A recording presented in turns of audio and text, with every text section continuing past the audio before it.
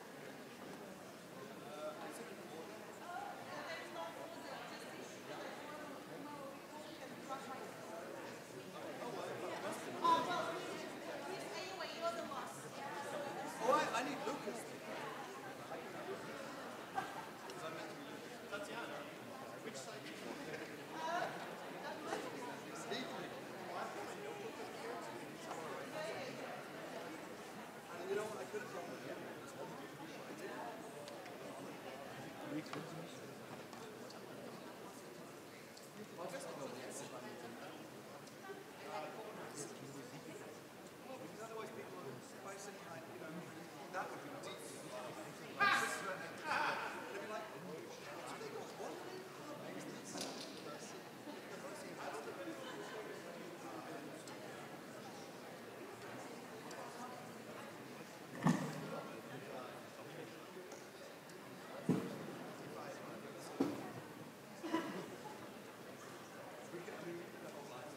Are we on?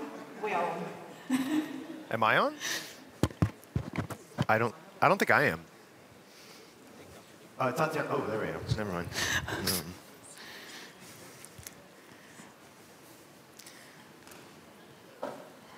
Shall we start? yeah, I believe so. So,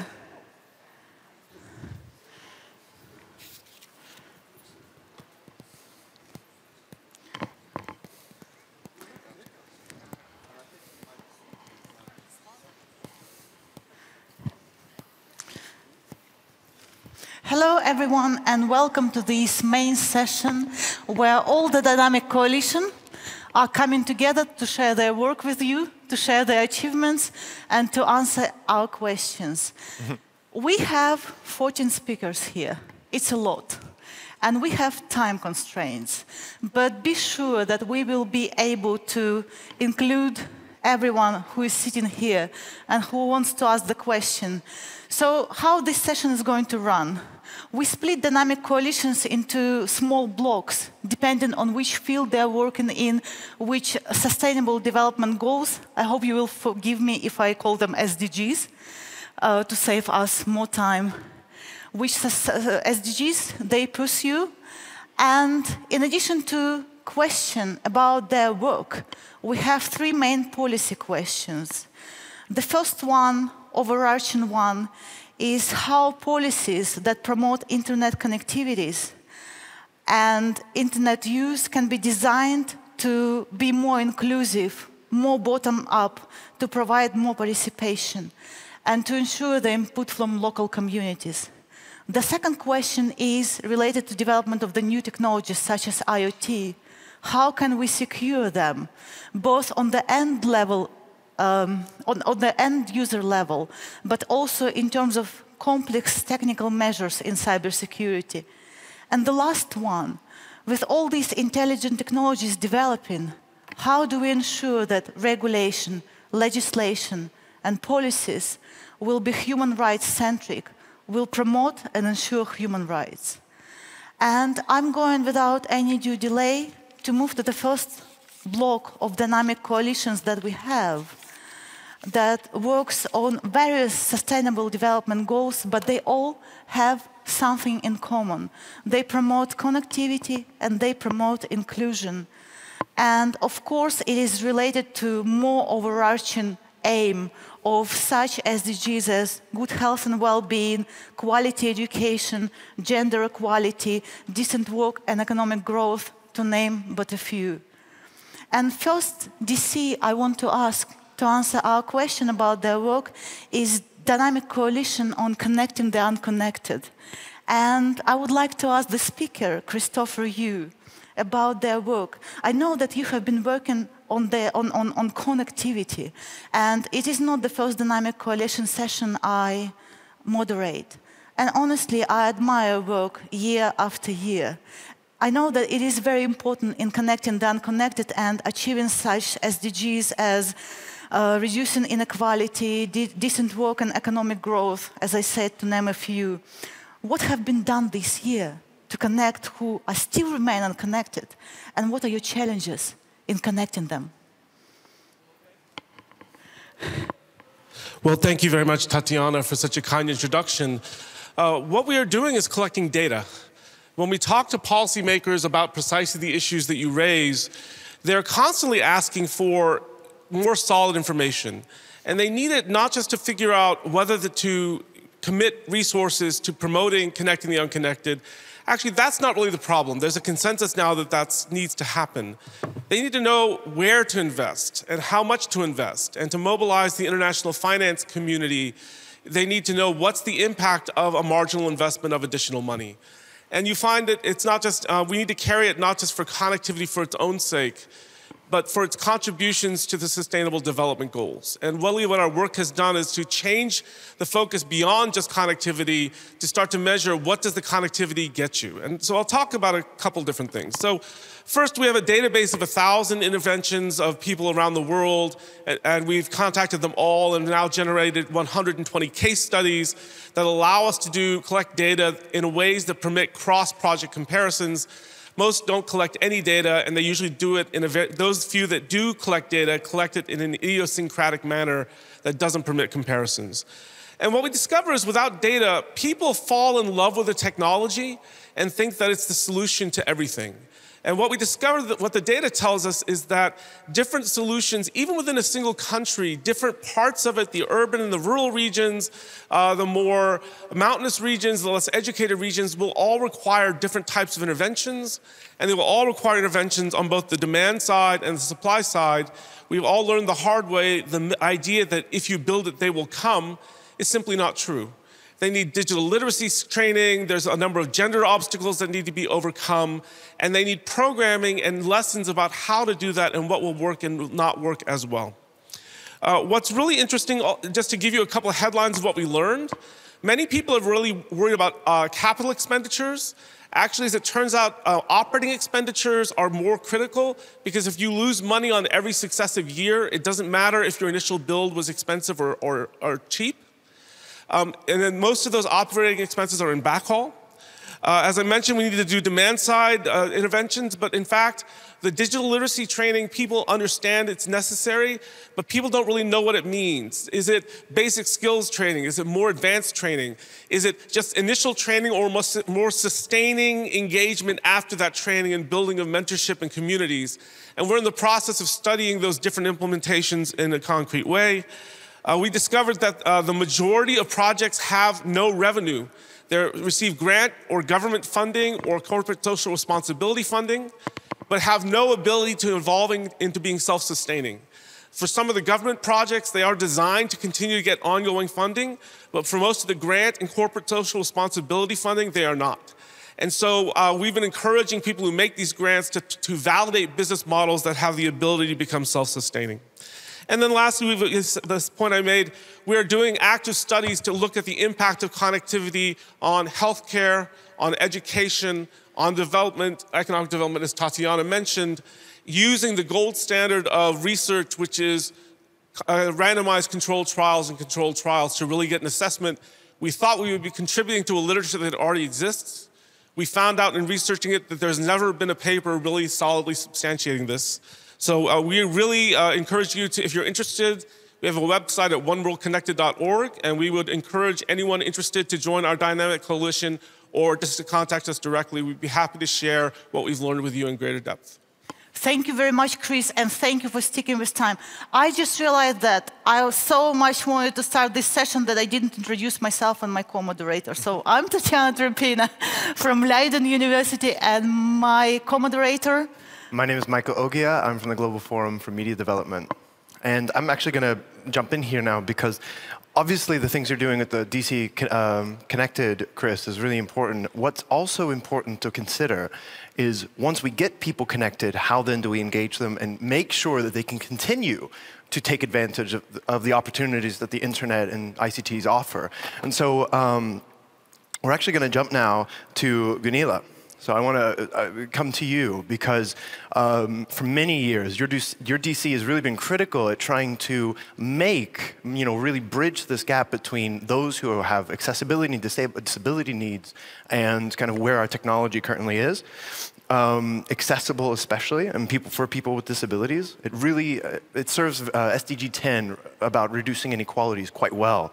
And so um, I see from your you know from your submission, from the work that you've been doing from this year, that uh, your focus um, has been on the participation of people with disabilities um, in, in, internet governance. And so basically, we want to know what are the ways, uh, what are some of your ways of catalyzing such involvement of those individuals with disabilities, or those with accessibility needs?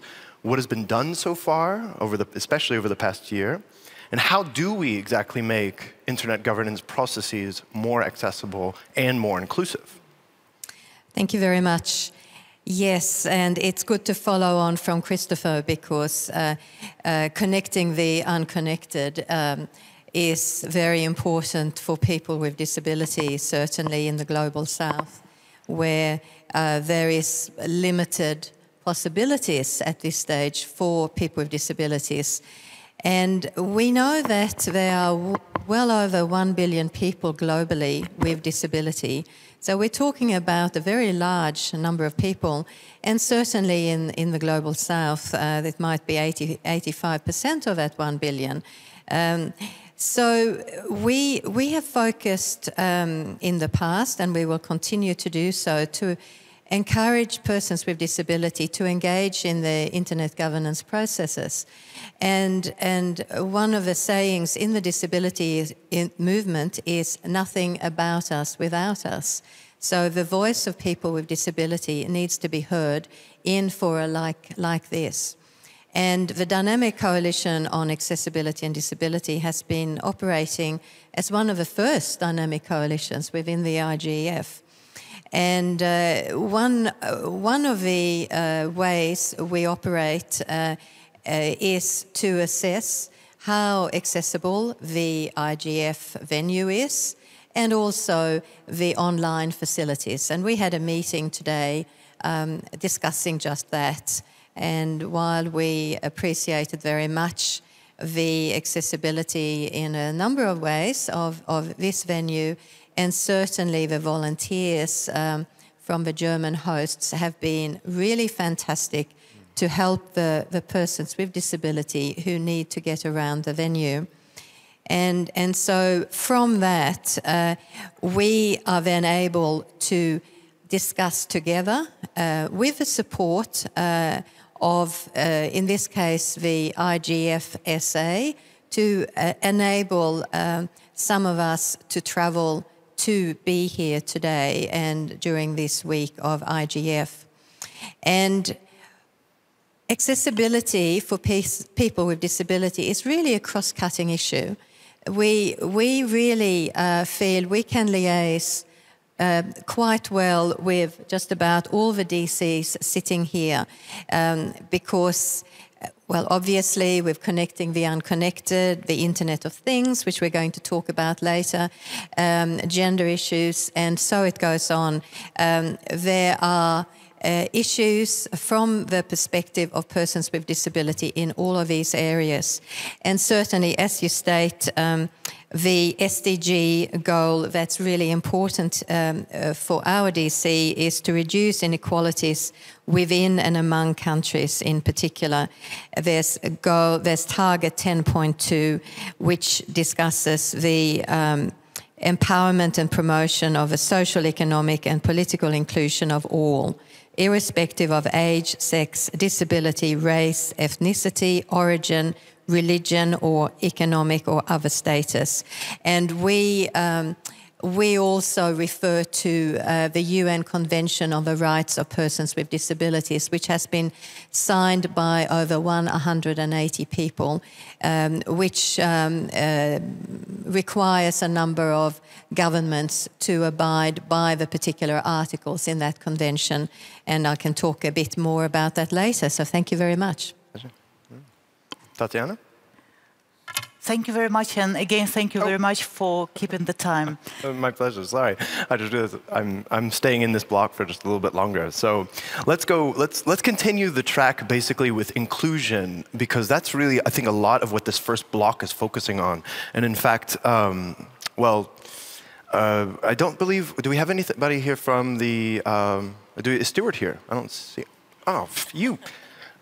I'm sorry. You know, He I arrived a bit just Sitting right here. What? He arrived a bit later, I believe. so Fair enough. have Stuart, good to see you.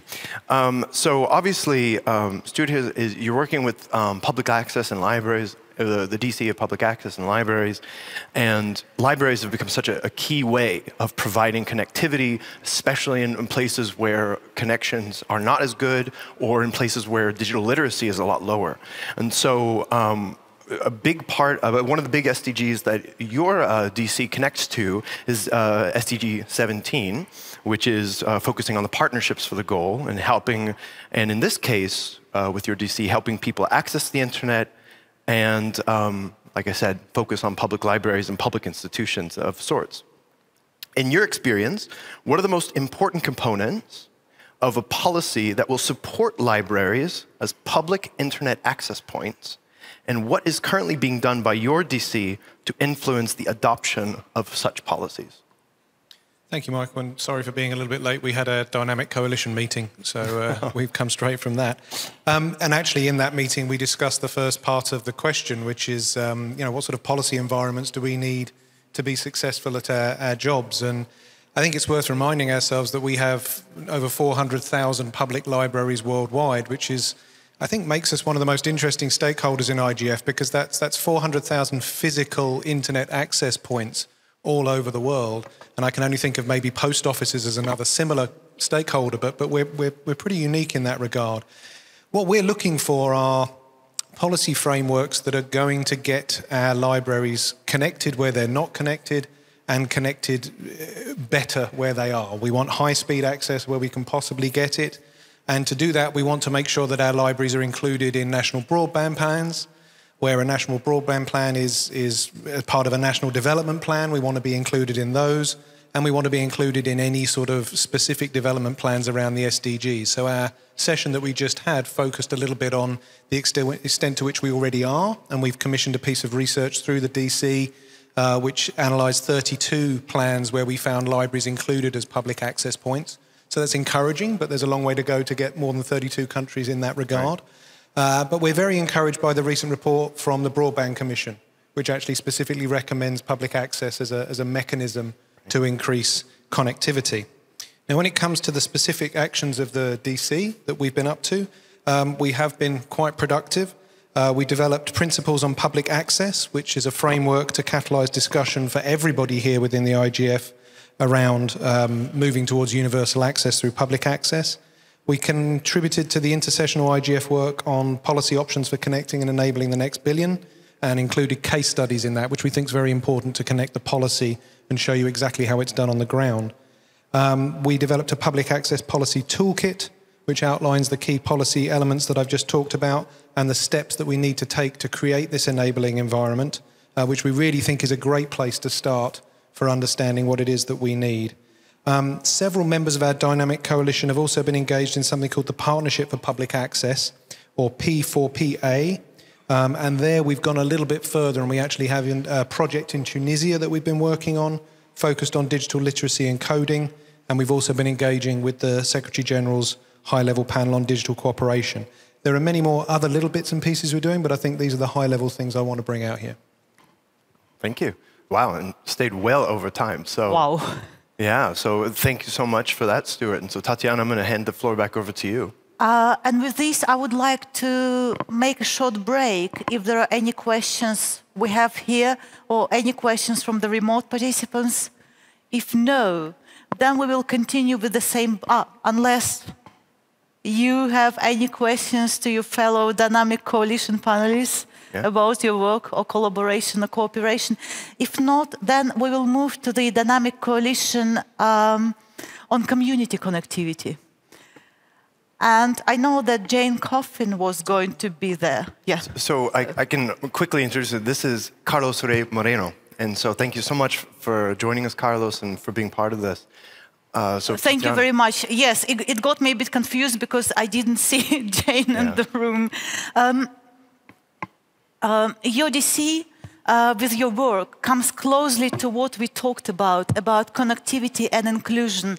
But I know that you're working on achieving SDG in a bit of a different way because you're focused on the local communities on this truly bottom-up approach uh, to connect via community shared network, via alternative um, means. So I would like to ask you in general, how do you think, how does it contribute to uh, achievement of sustainable development goals? How does it contribute to bottom-up approach to inclusion? And how is your work complementing to work of those dynamic coalitions and other groups who are working on connectivity as well?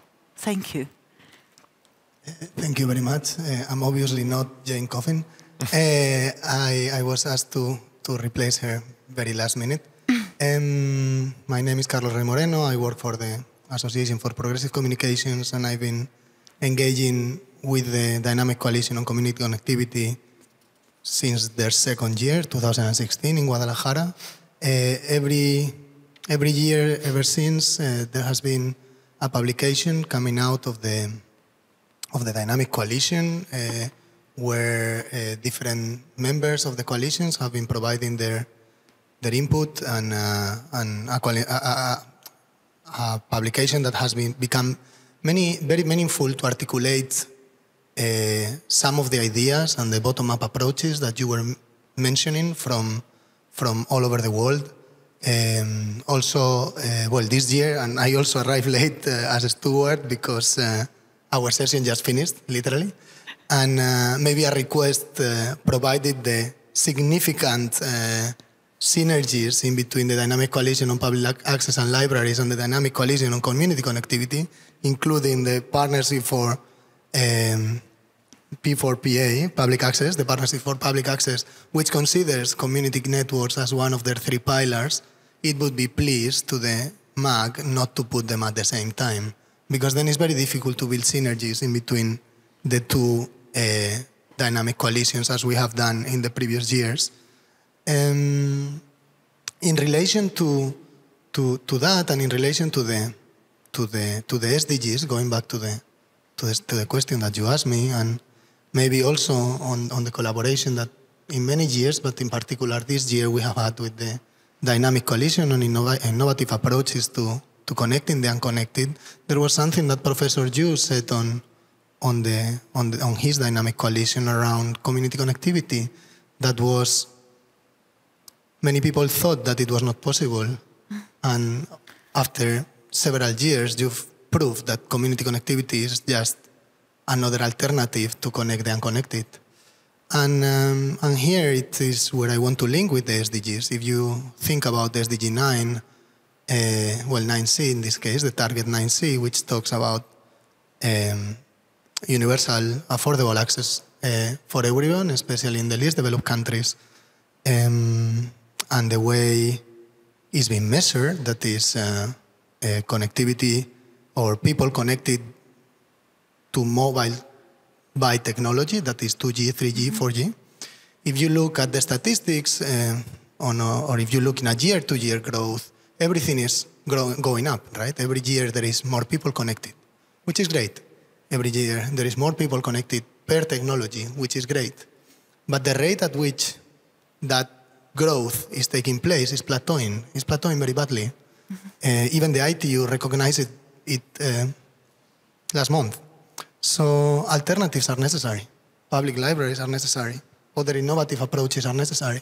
Community networks are necessary because the, the, the model that, that we had up to now and um, the, IT, uh, uh, the ITUD director, Ms. Doreen uh, Bogdan Martin, in the opening of the uh, introduction on digital inclusion, said that we need new models, that we need new regulation and policy frameworks. And that's particular where, particularly where we have been, the publication of this year is particularly on those policy and regulatory frameworks that are necessary and the changes within them to accommodate these innovative approaches like community networks in the policy and regulatory frameworks of the different countries. Thank you very much.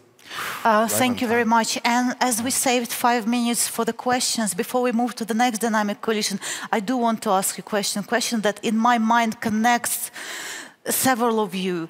I've heard the words regulation, I've heard the words policy frameworks, I've heard the word investments.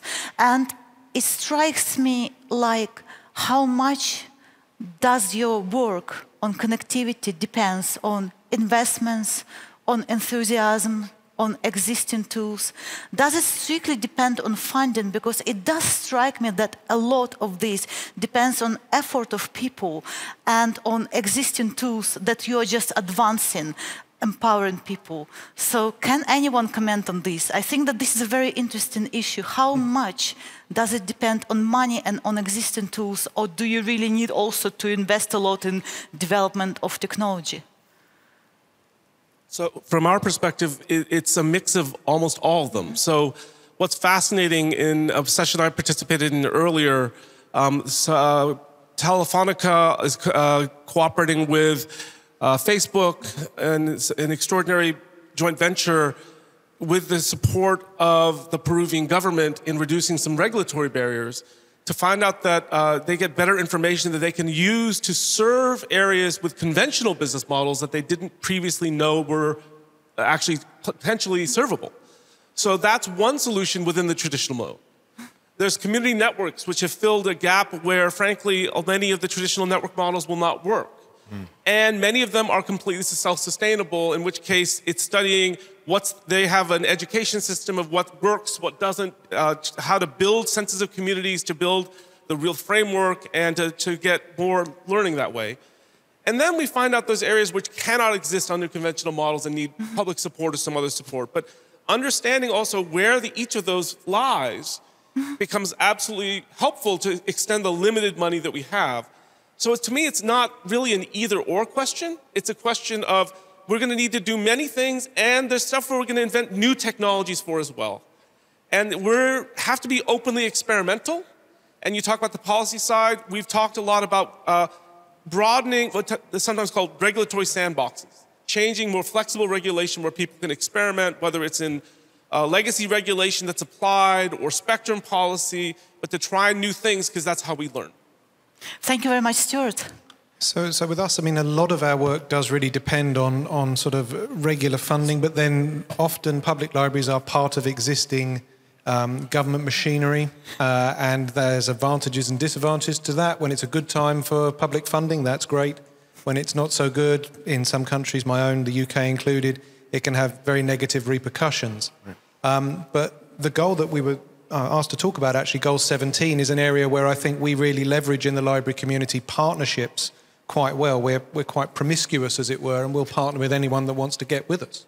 Um, and that can actually lead to some of the sustainability that, that is needed to take the infrastructure projects or the connectivity projects a little bit further forward. So libraries are actually naturally quite good at partnering. Uh, and we find ourselves falling back on that. In the, in the DC session that we just had, we had case studies from the use of universal service funds in Uganda and Kenya. So we're very keen on seeing more of that. But when they run out, you need that sustainability. So partners, we've had Microsoft come in in those cases, private sector, and also some foundations. So we really look to attract that. So like Christopher said, it's, it's a mixture of both that we need. Thank you very much. And I mean, they have elaborated significantly in, uh, around funding. I think for the next step forward into connecting the unconnected through at least community connectivity, I people may not agree with me. I don't think funding is a problem. I think there is enough people willing to, there is enough mechanisms to, to make money available to this type of, of, of projects. The people is there. The people are ready. The people are requesting to, to, to be able to set up uh, this type of infrastructures by themselves. The main limitation is the regulatory framework, and in particular the spectrum.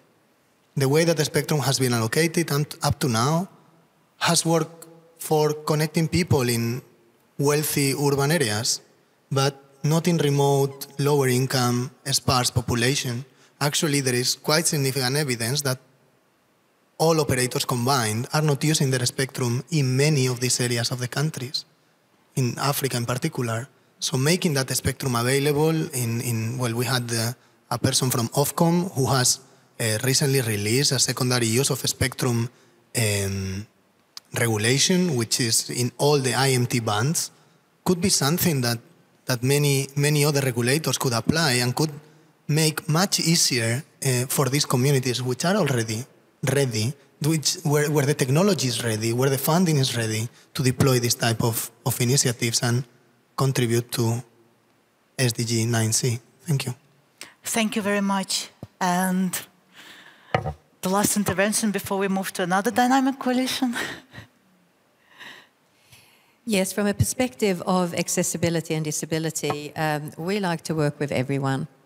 And, and so when it comes to um, the frameworks, uh, we, we enjoy the um, importance of legislation and regulation um, to, to help us bring the message of accessibility um, within the private sector so that the private sector understands, yes, sure, there, there are some sticks, but there's also a number of carrots to ensure that uh, products and services are being made available. For example, um, there's um, public procurement uh, that incorporates accessibility criteria.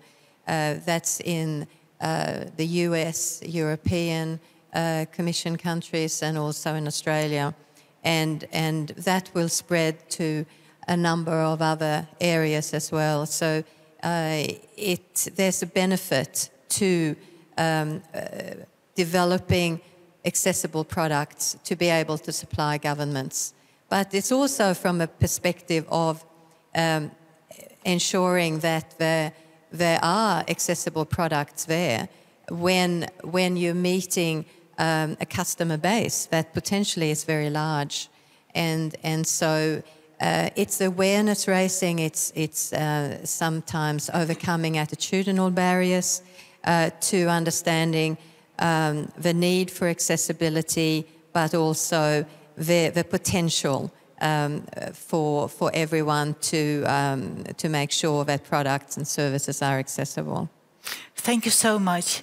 And we are moving to the next dynamic coalition, which approaches connectivity and inclusivity from a bit of a different angle. Mm -hmm. And it is Youth Coalition on the Internet Governance. And I want to ask you, why is the youth engagement important for the for pursuing of the 2030 sustainable development agenda what does youth inclusion look like to you and what would be your indicators of success? Yes, yeah. Oh, sorry, and uh, the speaker is uh, Virginia Balchunaite. Thank you, Tatiana. Uh, so to commence my intervention, my short intervention, I want to start off with a super short story. And it will bring you all to Pakistan. It brings you to a story of a young activist, an activist who works and tries to save the world by educating girls and empowering widows. And it's a, it's a, it's a funny, it's, a, um, it's not a sad story, spoiler alert. Uh, why I'm telling you the story, because YCIG has worked a lot to help him in the application process and help him in the visa process. So you can imagine how happy we were when the visa was accepted and when he finally got here to Berlin. And he finally is here, activating, uh, advocating for young voice, for Pakistani young voice, and addressing young people here, addressing stakeholders here. And also, we managed to connect him with different stakeholders who potentially could help him out in the future, who gave uh, valuable advice for his work. And this story shows the activities of YCIG because it represents the four key activities that I also want to, to talk about. So basically, it's the outreach, the leadership, uh, the representation of youth, and partnership. So, first of all, the outreach.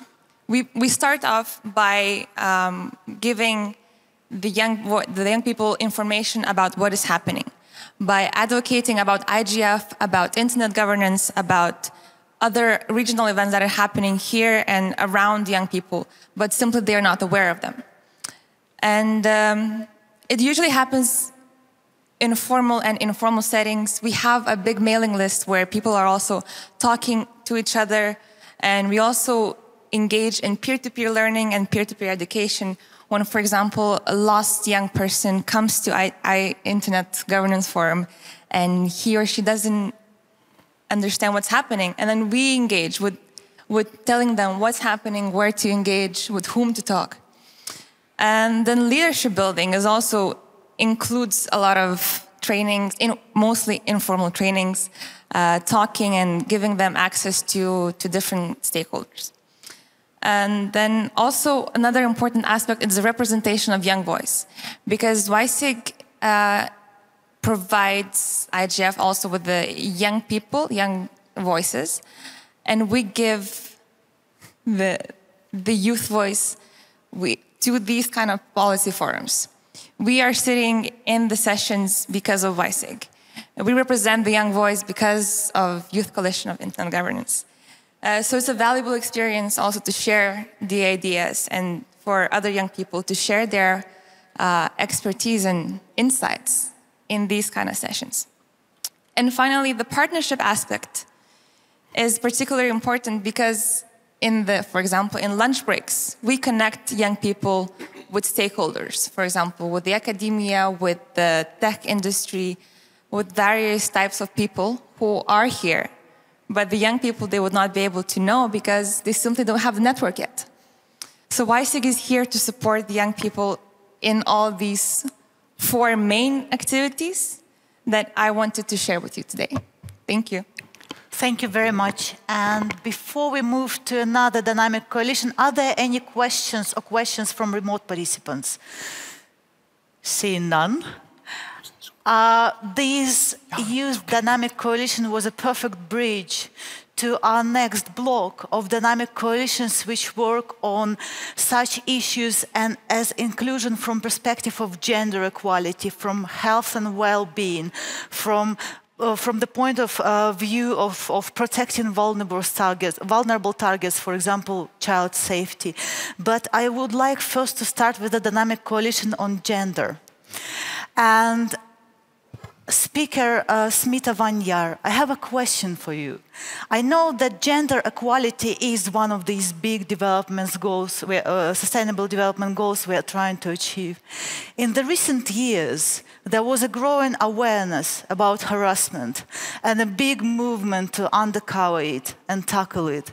How does your dynamic coalition contribute to um, tackling this problem both online and offline? Thank you. Thank you for the question. um, one thing which we have to firstly recognize is that when we talk about online harassment and particularly gender-based on, uh, uh, violence online, it is never a one-step solution, right? It, it's, uh, it's because the violence is never one step.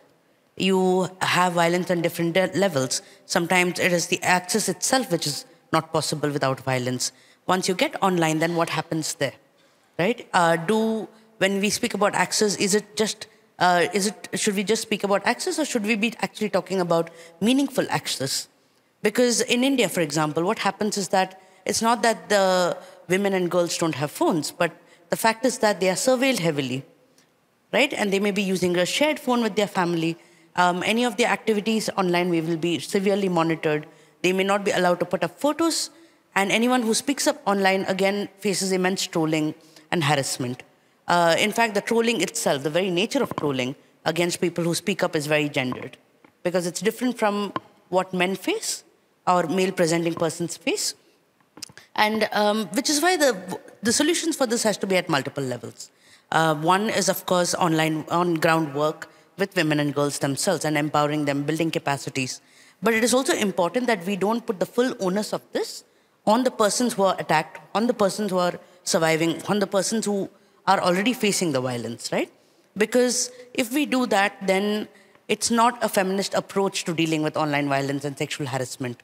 It is important that we put the onus, we put um, the burden of solving this problem where the responsibility lies, which is not, uh, which is not just the women and girls, but also internet intermediaries, platforms, governments, because in many places there are no laws to deal with certain kinds of online harassment.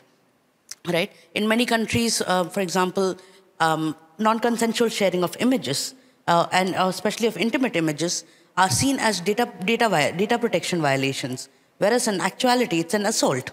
It's sexual assault. And it needs to be treated as that. When we don't speak about it, what we're doing is that we're separating um, the violence which happens from the bodies which are facing the violence. And it's very important that we don't do that and we address violence as a continuum. What happens online does not just stay online, it also moves offline, right? Um, the reason, uh, the, one of some of the things that the Gender Dynamic Coalition does is also bring in gender very actively into the space of the IGF. Because the Internet Governance Forum is not only for discussing issues which are now and current, but also emerging issues. Um, online harassment is one of the topics which um, has been going on. The conversation around this has been going on for a while. But it's also important that we evolve this conversation to anticipate what are the future problems that will come, especially with machine learning, especially with artificial intelligence and algorithmic decision making. How are people of different genders affected? And this is another important element here when we speak about gender, right? When we speak about gender, our conversation often remains limited to women. But gender is not just man or woman.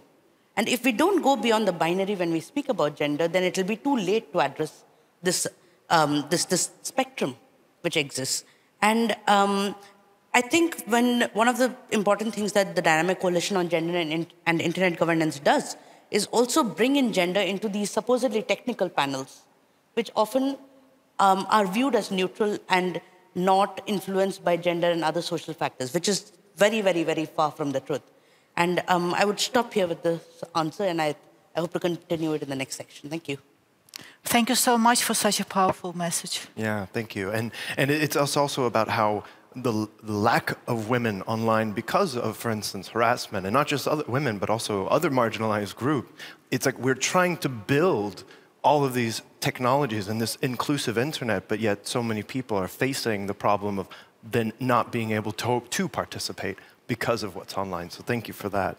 And so aside from gender and diversity issues, one of the most, uh, one of the more um, excluded groups online is easily children because you know children aren't necessarily involved uh, in, are obviously usually not involved in the policymaking process. And so I want to move to Marie-Laure and talk a little bit about um, you know uh, kind of what's going on with young uh, with not just young people and youth in general, but specifically uh, on gaming platforms and online gaming in general. And I've long actually thought to myself, you know, gaming is such a huge industry and it relies so much on internet uh, technologies. And yet, gaming platforms aren't here. Gaming is not really something we hear about very much. Um, so, I really want to just address what are some of the fundamental challenges to your work and how do they reflect challenges to achieving the SDGs, specifically those related to inclusion. Um, and, uh, not to, and not to mention good health and well being, as I'm sure you'll address, the quality of education, and obviously partnership for the goals. Thank you. Yes, um, so this year we had a dedicated session to the gaming platforms, and so did we last year actually, because we felt that um, we had not spent enough time and we needed to develop and, and go deeper this year.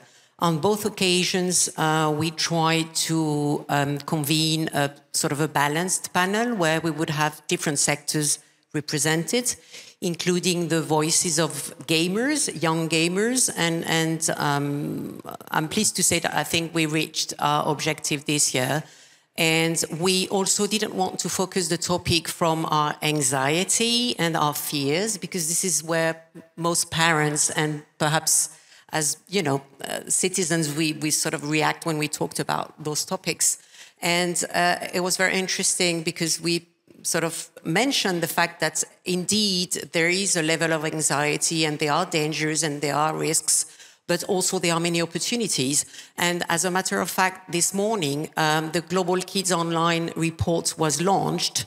Uh, by Dr. Sonia Livingstone and her team. And one of the finding, findings, and they, they, sort of took the methodology European, um, developed at European level and took it outside of the European region and applying it in more than 10 countries outside of Europe.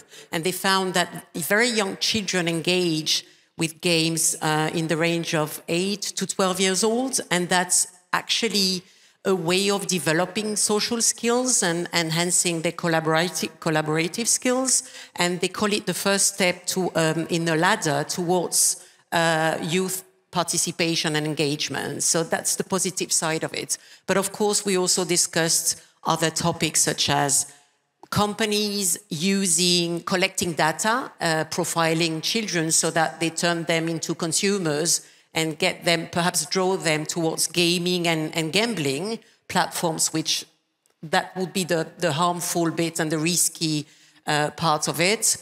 Uh, we also discussed the fact that um, self-regulatory models um, on the online space in general, we have we had a feeling that it doesn't really work. Uh, so we there was a consensus that we needed to enforce some kind of legal framework to force companies to, um, you know, set up some basic standards. So some some of those some of those are some of the issues we, we discussed. Is it okay, Tatiana, if I ask kind of yes. is more? So, so in in all transparency, I'm and much to the uh, I'm and for all transparency, I'm a gamer, much to the to, to the a dismay. gamer or a gambler gamer. Ah. I'm a gamer, much to the dismay of my wife. And um, something that I've long noticed is because I have a very good friend that works for Blizzard Activision. And I've long asked him, I said, you know, why don't you come to the IGF? Why aren't you involved in it? And he's like, why, why should we be there? So I think a good question as well is if we're exploring this further in the future, how do we engage with gaming platforms? How do we get gaming companies, gaming platforms, how do they get them to the IGF? Yes. I think it's a pretty key stakeholder that we're missing. That is a good point. Actually, last year we had someone from a company who came from London, and I must say that like most dynamic coalitions, we don't have a budget. So we were, you know, trying to find, be creative and find ways to invite someone who would be willing to pay, you know, to be self-funded. And we, we found someone from London and they came and they were, you know, not threatened by, you know, sort of a group of people who were going to ask very challenging questions about corporate social responsibilities, uh, safety standards, etc. But you have a good point. And actually, yesterday we had a, a, meeting of our own members, and we did discuss that we need to engage more, generally speaking, um, gaming, you know, uh, companies, but also more tech uh, companies within our own dynamic coalition. Thank you. Thank you very much. Thank you very much. And are there any questions? There, there are. Yeah, hello. We have one question. Um, and the question is from Jean Philippe and Ruben. And he asked, uh, What does the panel think about the US Children's Pro Internet Protection Act, uh, short CIPA, um, which addresses concerns about children's access to obscene or harmful content over the Internet? And um, CIPA actually requires some schools and libraries to use internet filters and implement other measures to protect children from harmful online content. Um, and they have to do it to get some federal funding. Yes, yes please. Um, I'll take this one, I guess. Um, CIPA, so our American colleagues, um, yeah, have been working within the boundaries of CIPA for many years. Um, if I remember correctly, it ties, uh, federal funding is tied to it, uh, which could mean that libraries would have to institute uh, filtering on their public access computers. And when the librarians found that that would actually extend beyond children to adults, the vast majority of libraries uh, found ways wherever they could to forego the funding. So I think it's an example of something that perhaps was well intentioned, but uh, has consequences that go beyond uh, what it set out to achieve. Um, and the library community, more generally, is against sort of filtering of the internet kind of more fundamentally. We believe in education and we believe in, in sort of uh, acceptable use policies rather than mandating strict filtering. That said, you can still find it in places, But I think that CIPA has some flaws which the community in the US has tried to work around. Thank you very much. And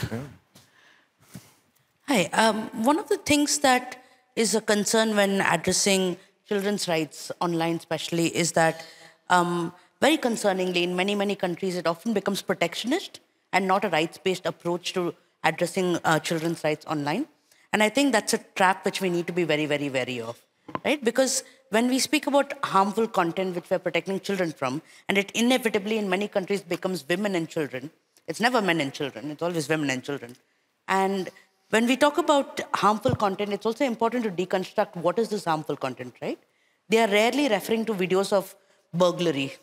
They're often re- uh, related to content on sexuality, right? And um, when it becomes a protectionist approach towards addressing sexuality, it becomes concerning because in many places, um, sexuality, it, what it creates is that is this, it makes sexuality seem like the shameful thing which everyone needs to be silent about. And that is a very, very dangerous precedent to set because if you don't understand sexuality, then you will not be able to understand when your consent is being violated. You will not be able to understand, um, you know, sexuality in a healthy and a holistic manner. And I think this is something which we need to like talk about more openly. Thank you. And I wonder if the Dynamic Coalition on Child Safety can talk about this balanced approach in this to sense. expand a little bit, yes. So, of course, um, I, I, don't think anyone wants to criminalize, well, yeah, some people do actually, want to criminalize uh, uh, sexuality among, um, let's say, above the age of sexual consent, where it's legal. Uh, but, but, we also have to distinguish. Um, when we discuss, we have to acknowledge that there are harmful contents and we have to provide uh, rules around that and also uh, discuss with platforms. Um, there are a number of tools where that can be used, like age verification, etc. There are studies showing that overexposure or exposure to adults pornography is harmful to children. In Australia, they, I mean, and, and perhaps overexposure. Uh, it's quite a complex uh, a topic. Also, we know that in some countries, this is an excuse for uh, indeed um, sort of uh, blocking access to um, for children and for adolescents uh, uh, to some online sites. Uh, this is kind of a discourse to, you know, to, to actually um, practice censorship. And, and there are cultural factors, religious factors. Uh, you go and visit some countries and they use this as a, that, that's their main fear. It's not actually the children as victims, but it's the exposure of children to those contents. So, um, depending on the level of maturity and, and the knowledge and awareness of the policymakers, uh, it's sometimes quite difficult to engage in, in a meaningful discussion with them. Thank you very much. And I'm sure that this discussion really deserves the entire session. If there is a quick response to that, I will be happy to take one minute and then we will move to other dynamic coalitions. But we might, maybe we will have time for more discussion later. Thank no, you. I completely agree with you. I, I, there is no, um, and if there is a reason why there is an age of consent, there is and and um, are these uh, these are definitely not uniform across the world. And i completely agree with you on there are, that there are harms of course to being exposed to violent content and other harmful content. Uh, what i uh, and and my i think we are coming from the same space that you involve the children in the discussion around this as well. So i you know we're on the same page on that. Thank you Thank you very much. And we are moving to the next block, which is focusing uh, dynamic coalitions, which are focusing mostly on the issues of innovation, infrastructure, but which feeds other sustainable development goals like smart cities or zero hunger, because it's all based on technologies. And the first dynamic coalition I want to ask a question is dynamic coalition on DNS issues. DNS issues are very close to my heart. I think that um, we have speaker Nicholas Smith, right? Right. First of all, Nicholas, congratulations. Uh, I know that your dynamic coalition is one year old exactly at this IGF. I saw from your submission that you focused a lot on the universal acceptance. How does this feeds into the achievement of sustainable development goals? What are your plans for the future as well? Because I know that one year for the Dynamic Coalition, it is a lot, but at the same time, it is not a lot of time. So if you could update us on your work and your future goals, thank you. Well, first, thank you, uh, Tatiana. Thank you, Michael. Um, it's an honor, as you said, a year in the making. Um, walking out of a session that we had uh, yesterday, uh, the room was quite full, so I think there's going to be even greater expectations uh, going forward in 2020. Um, but how this all ties together um, really starts with a simple premise about the multilingual internet, right? When we think about where we want to take um, aspects of the DNS, right, and how we really want to make it a universal acceptance piece. Um, one of the things that our DCs uh, focused on this year really was that aspect of universal acceptance. And what we wanted to strike it on was starting with looking at kind of the, the prime topic of where could we go to process this information. We started looking at um, a survey that we conducted um, earlier this year on bringing kind of the public sphere into the space with governments, um, which ultimately would tie back into SDG 9, which is talking about innovation, resilience, and infrastructure.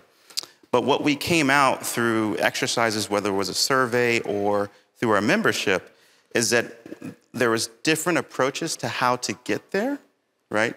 But we all agreed on the simple premise that a multilingual internet is where we need to be, right? That's, that's the future. So um, one of the things that um, you know we, we, tried to stress throughout this year is we were on a huge campaign, basically. Um, we started um, in Paris last year, uh, we spent most of this year um, having consultations at the MAG meetings in Geneva. Um, we were at EuroDIG um, earlier this year in The Hague, um, ICANN meetings. Um, so I think um, one of the key pieces here is how we work collaboratively to address these issues, but at the same time, we don't want to duplicate what some of the great work that some of the issues that ICANN is also facing as well. so that's something that, that we're, we're taking very seriously. Um, just kind of going back to um, the innovation piece um, and where we want to go. Um, so far, um, right now, uh, as I mentioned earlier at the outset, we, we did have an initial survey. Um, where we want to go next year is we want to have maybe a comprehensive survey where we have you know different languages in that aspect, right?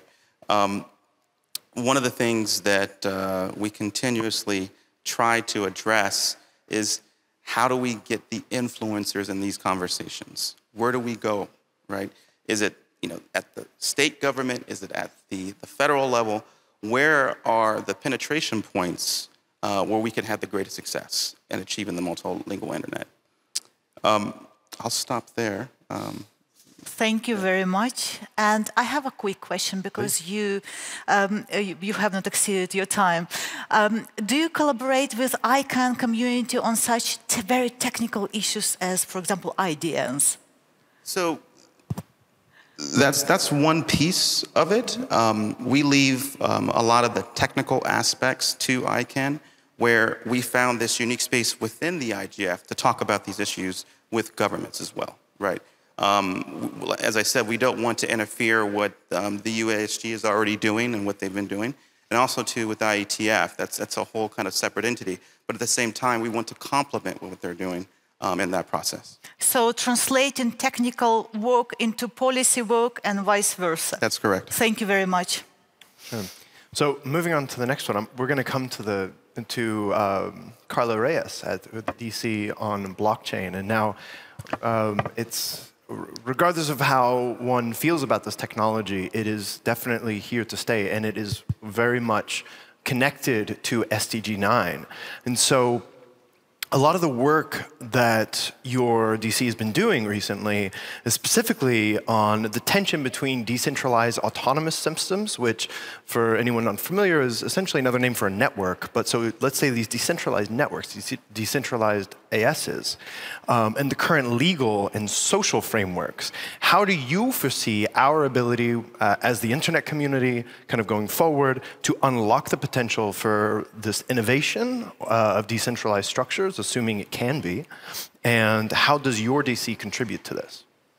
Yeah, So um, I've been involved since um, Guadalajara, as someone else mentioned, um, and since that time, and even through this year's focus, although the focus has been slightly different um, to look at decentralized autonomous organizations, um, the entire time the focus is on capacity building. So it's a little different for us whether we're looking at um, the SDGs and how we can advance those as a coalition, or whether we're just looking at blockchain technology as it relates to internet governance more broadly. There's a temptation always to think of specific use cases cases, but as you do that, you both become the blockchain, blockchain, blockchain group, which we are not, uh, and you run the risk of um, preferencing one instantiation of the technology over another, which we absolutely do not do, right? So our goals have long been and continue to be capacity building in one of several ways. One is uh, capacity building initially was to um, remind the innovators that they weren't innovating in a vacuum. Um, we sort of started over with the um, regulations don't touch us um, discussion from the uh, 90s and the internet. Um, and then similarly, um, we uh, work on capacity building with the general public to remind them that this is just another technology. It's an innovative one, but any innovative technology does not necessarily mean that it will be used to further innovation. You may just end up using it to reinvent uh, centralized old structures if you're not careful, um, because humans are humans and humans are behind it after all. Now, when it comes to decentralized autonomous organizations in particular, um, both lawyers and regulators um, academics and the technologists in the space have become quite sophisticated. And so there's been an emerging literature asking whether um, DAOs can be uh, legally formalized entities, right? And the problem becomes that um, they're entities that exist across the world, like literally, because they're decentralized systems. So which jurisdictions' laws would apply? Um, how does uh, what does that look like? Um, and uh, to what extent do folks building them have to interact with a specific jurisdiction, or can they continue to remain essentially decentralized? Because interacting directly may require some kind of centralization. So the goal has been both, again, capacity building, understanding that when we use that term, we're not talking about one specific thing, but rather a spectrum, as I've heard many of uh, my colleagues mention everything is on a spectrum, and there's a, a spectrum of uh, things that count when people are, are using that term, uh, and then um, trying to build uh, in a, a multi-stakeholder fashion frameworks um, to help regulators and lawyers and technologists um, both speak about these things in a way that everybody in the room understands, right, which is actually quite difficult, uh, and um, also uh, to think about just the, the principles that you would want in, a, in, in this example, um, regulation that uh, formalizes or allows for formalized um, representation of decentralized autonomous organizations. We do that similarly and have done that similarly in other areas of innovation as the community becomes particularly interested in one thing or another. And before, for example, it was in um, uh, capital raising uh, via decentralized means. Uh, and going forward, given the work that we've done this week in designing the work program going forward. There's interest in um, understanding data protection uh, in blockchain uh, context and decentralized autonomous organization context. Uh, and there's interested in not forgetting to continue to do the basic capacity building with the public of this is not blockchain, blockchain, blockchain land, um, right? We, we, need to talk about like what does it all mean? How do you separate hype from uh, reality so that we are talking about real things and not say Skynet, right? Um, so yeah, that's what we're up to. Thank you for that very pragmatic approach as well. Yeah, Thank you very yeah. much. And I want to move to another dynamic coalition, dynamic coalition on the Internet of Things, and see how we can separate hype from reality here. Because we know that Internet of Things is everywhere, every eye is on it, and we know that it contributes a lot to achievement of sustainable development goals, like from pacemakers that someone can have to smart cities, it's everywhere. But at the same time, as a cybersecurity researcher, I opened the newspapers and media and I saw a lot of headlines which use almost military language that IoT can be weaponized as a tool for a major cyber attack. So Maarten Botterman, who is the representative of the um, Dynamic Coalition um, on IoT, I want to ask you a question. How do we make those devices secure and safe from two perspectives, end users who are mostly irrational than rational, but also complex security measures on the industry side. How can we separate this hype from reality and how can we bring industry and users perspective together? I know that four minutes is not uh, a long time but please try. I'll try to do it in then uh, basically, the points you make are very good, and uh, IoT is just part of that internet, and it, it's perpetrating, uh, per perpetrating a life. It, it's everywhere.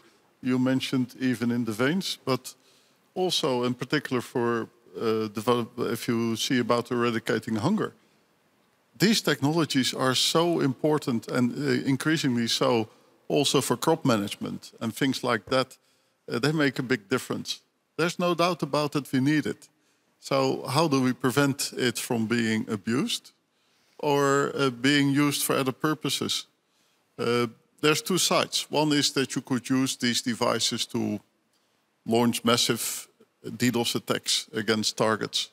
So you use them basically to reflect and to send out a lot of things at the moment that you think they're that's useful. And it's possible because many of those devices out there today are very poorly protected.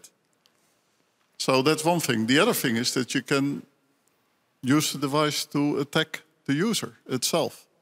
Um, it's clear how you can uh, destroy crops, which in wars may be a useful thing, or terrorism may be a useful thing. It's clear how you can uh, use those things that are connected to the body to attack the body directly or just to to tease somebody, your your your former uh, spouse, uh, by raising the temperature in his house to above normal temperatures. It may sound ridiculous, but because of the market and the world developing, you can buy these services, the bad services as well. So it's clear that we need to do something about it. And in that, I very much agree there's a distinction between who is using it. From professional users, from companies, from governments who use it to measure traffic density or whatever, you can expect that they take the appropriate measures. They have the ability to hire the, the, the right capacity, etc., in, in-house. Consumers don't have that so. So we need to help consumers. We need to help by raising awareness. These newspaper articles, in a way, help to sensitize to be more curious, like how can I do this in a responsible way? But also by grading services and devices, certifying them in a way of how well they are to be secured, how well they're using data, and protect the data that may be private. So raising awareness, making sure that users are per product, per service more aware of the risks is an important step there. And it's not enough. Uh, we need to help more not only because there's already many devices out there that are not protected or not fulfilling any criteria, but also because new devices will be made that will not fulfill this criteria, but may just be cheap or fun. Uh, so one of the things that you can do is offer consumers a front door lock, just like they may keep their money in a drawer that is not unlocked and their keys in another drawer that's not unlocked. As soon as you got through the front door, you can find it and take it. Electronic locks exist as well. The other thing is that you cannot leave it to the consumers alone. Stronger, you can't even leave it to the, the suppliers of tools and services alone. We need to all be involved. It means that also the access provider needs to be aware what's coming from that. Should I uh, transfer it? And that means that you need the systems approach to really secure the whole network, and that's the only way forward. We're working on it, we're beginning in it, and we're not there yet. But we'll be. It needs to happen. Thank you very much, Maarten. Do you have Tatiana? any interventions or questions? Can- yes. I actually Yeah, can, I, can I expand a little bit? Thank you. Sorry. So, as an example of collaboration among DCs, uh, two years ago we had, uh, I mean, our, our DC organized a, a session, a thematic session on Internet of Things related to, you know, toys and, and devices that children use. So, under this broad category that Mar- Maarten just mentioned, I think there is this this um, subcategory where you have children uh, are as users of those devices, uh, consumers slash users, and I. I know Maarten agrees, and I hope everyone does, that when we talk about children as users slash consumers, uh, we we shouldn't um, um, think of them as, as them as users being responsible for whatever you know um, misuse uh, is happening um, because of the age range number one and number two companies have uh, should be implementing higher standards in terms of safety and and, and protection and we do know that data is being collected um, you know about children uh, not necessarily encrypted. Uh, we don't really know what happens. This is data of users who have less than 18 years old. Um, there are also other issues. For example, there is a doll, uh, a toy that um, is engaging in a conversation, sort of an AI-based uh, tool with, with the children. And one company um, enabled the toy um, um, to detect signals of abuse or, or some kind of uh, uh, grooming conduct. Uh, so engaging with, in a conversation with the, with the child. And so we have to discuss issues around liability um, because the response of the toy to the child is, oh, this sounds like something important. You should talk to a grown-up about that. So what happens if, if the grown-up is actually the one who is abusing the child? Uh, what happens if the child doesn't act on this or the company doesn't have an alert system that is, you know, uh, uploading this and, and, and does nothing, where, where does the liability lie? So um, there are more questions than answers, but I think those are very relevant. Thank you so Thank much. You. And it also shows us how these different dynamic coalitions are actually connected to each other in their work. Uh, are there any questions? Because I do want to ask um, um, Maarten I. and Carla a question. Uh, uh, I'm sorry. yes, please. That's all right. I uh, just wanted to also mention um, the liaison between uh, the disability and accessibility DC and the DC on IoT. Two years ago, um, we organized a workshop on IoT and accessibility, and uh, Maarten um, participated in that, and Vint Cerf did as well, and we had a broad cross section of panelists, and there were a number of issues that came up. Interoperability was very important for us in regard to um, people, say, with physical disability who have some assistive technology, and how does that work with a smart device in a smart home. Uh, also, it was about user interfaces, that the user interfaces in, in IoT devices are going to be accessible for a person with a disability. So they were just two aspects that came out, and we look forward to a continuing liaison with the DC on IoT. Thanks. Thank you very much. Anyone else? here comes my question. You don't have to answer it, but both blockchain and IoT come up frequently with the issues of regulation.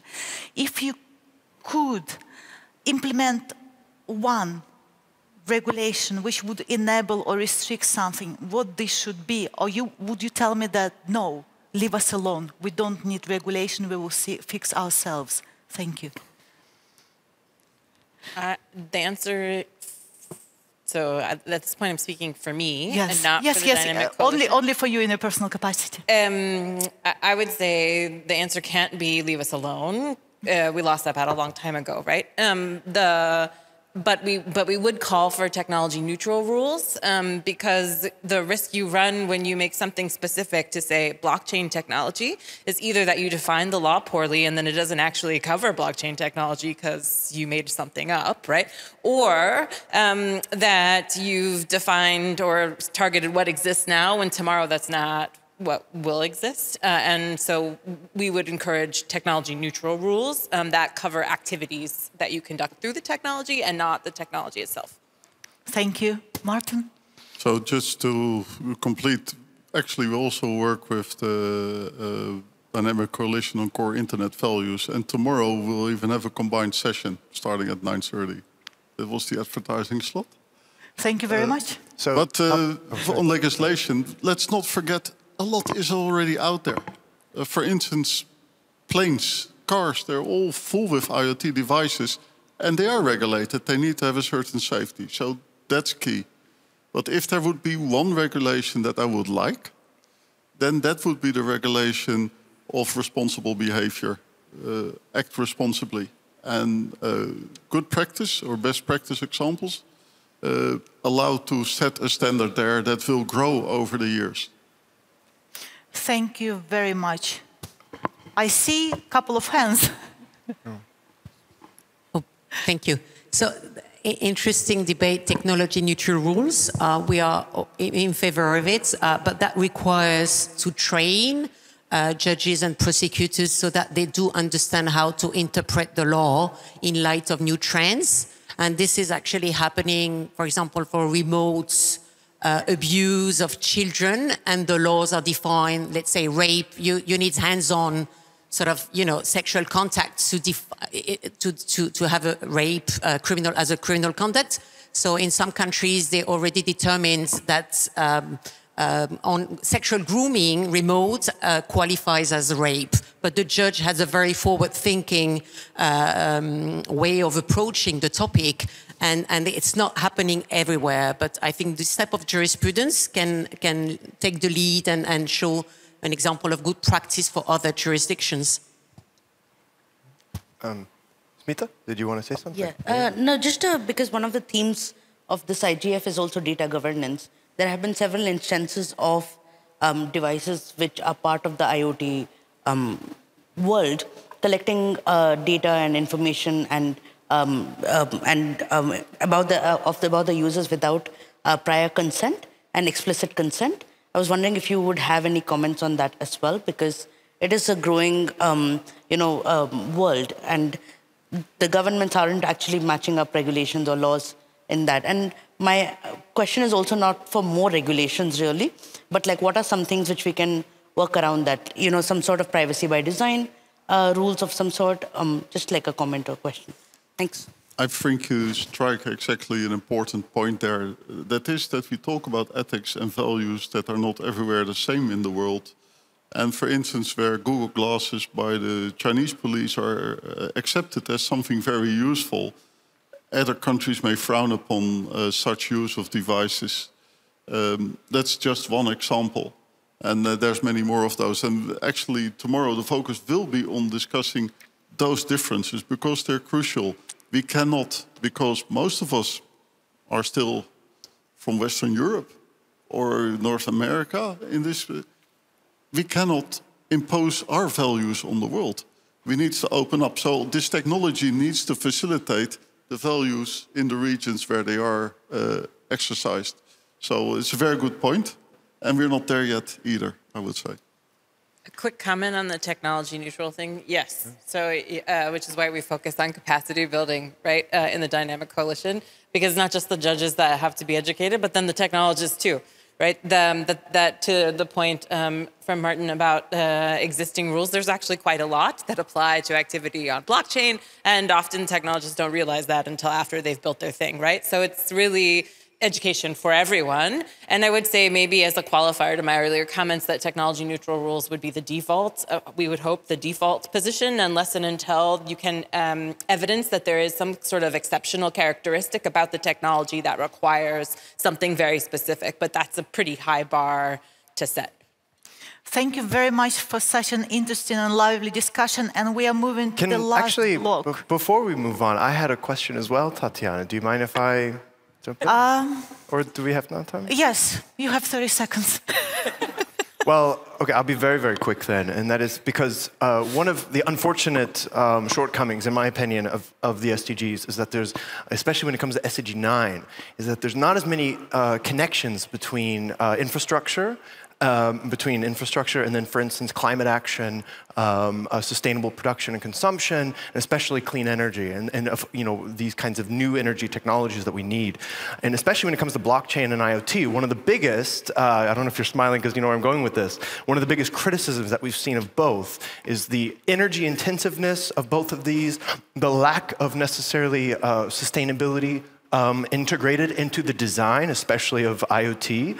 And so I really would like for you to explore, because this is really something we do not talk about enough, especially considering how the kind of crisis that we're currently in. What do you recommend, or how do you think we should go forward in this and engaging with this when it relates to ensuring that sustainability is built into these technologies, that we're creating technology in such a way that it respects the planet that we're living on, and of how can we go forward in this uh, with this in mind? It, it's two different problems between blockchain, uh, Bitcoin, Absolutely. and that kind of generating a lot of computer activity. Uh, but for IoT, I would say two things. One, without IoT, we cannot keep track of that and manage our landscape. For instance, uh, air quality snuffers will automatically be connected to ring road traffic indications that will reduce the, the speed uh, obligatory if the, the amount of uh, ozone uh, uh, polluters gets too, too high. That's one example where you see it's intricately connected. And you need IoT for that purpose. So it's not only using energy, but it's also giving that what we need. It can measure pollution in oceans, salination in, in, in water, uh, temperature rise, etc. So that's one thing.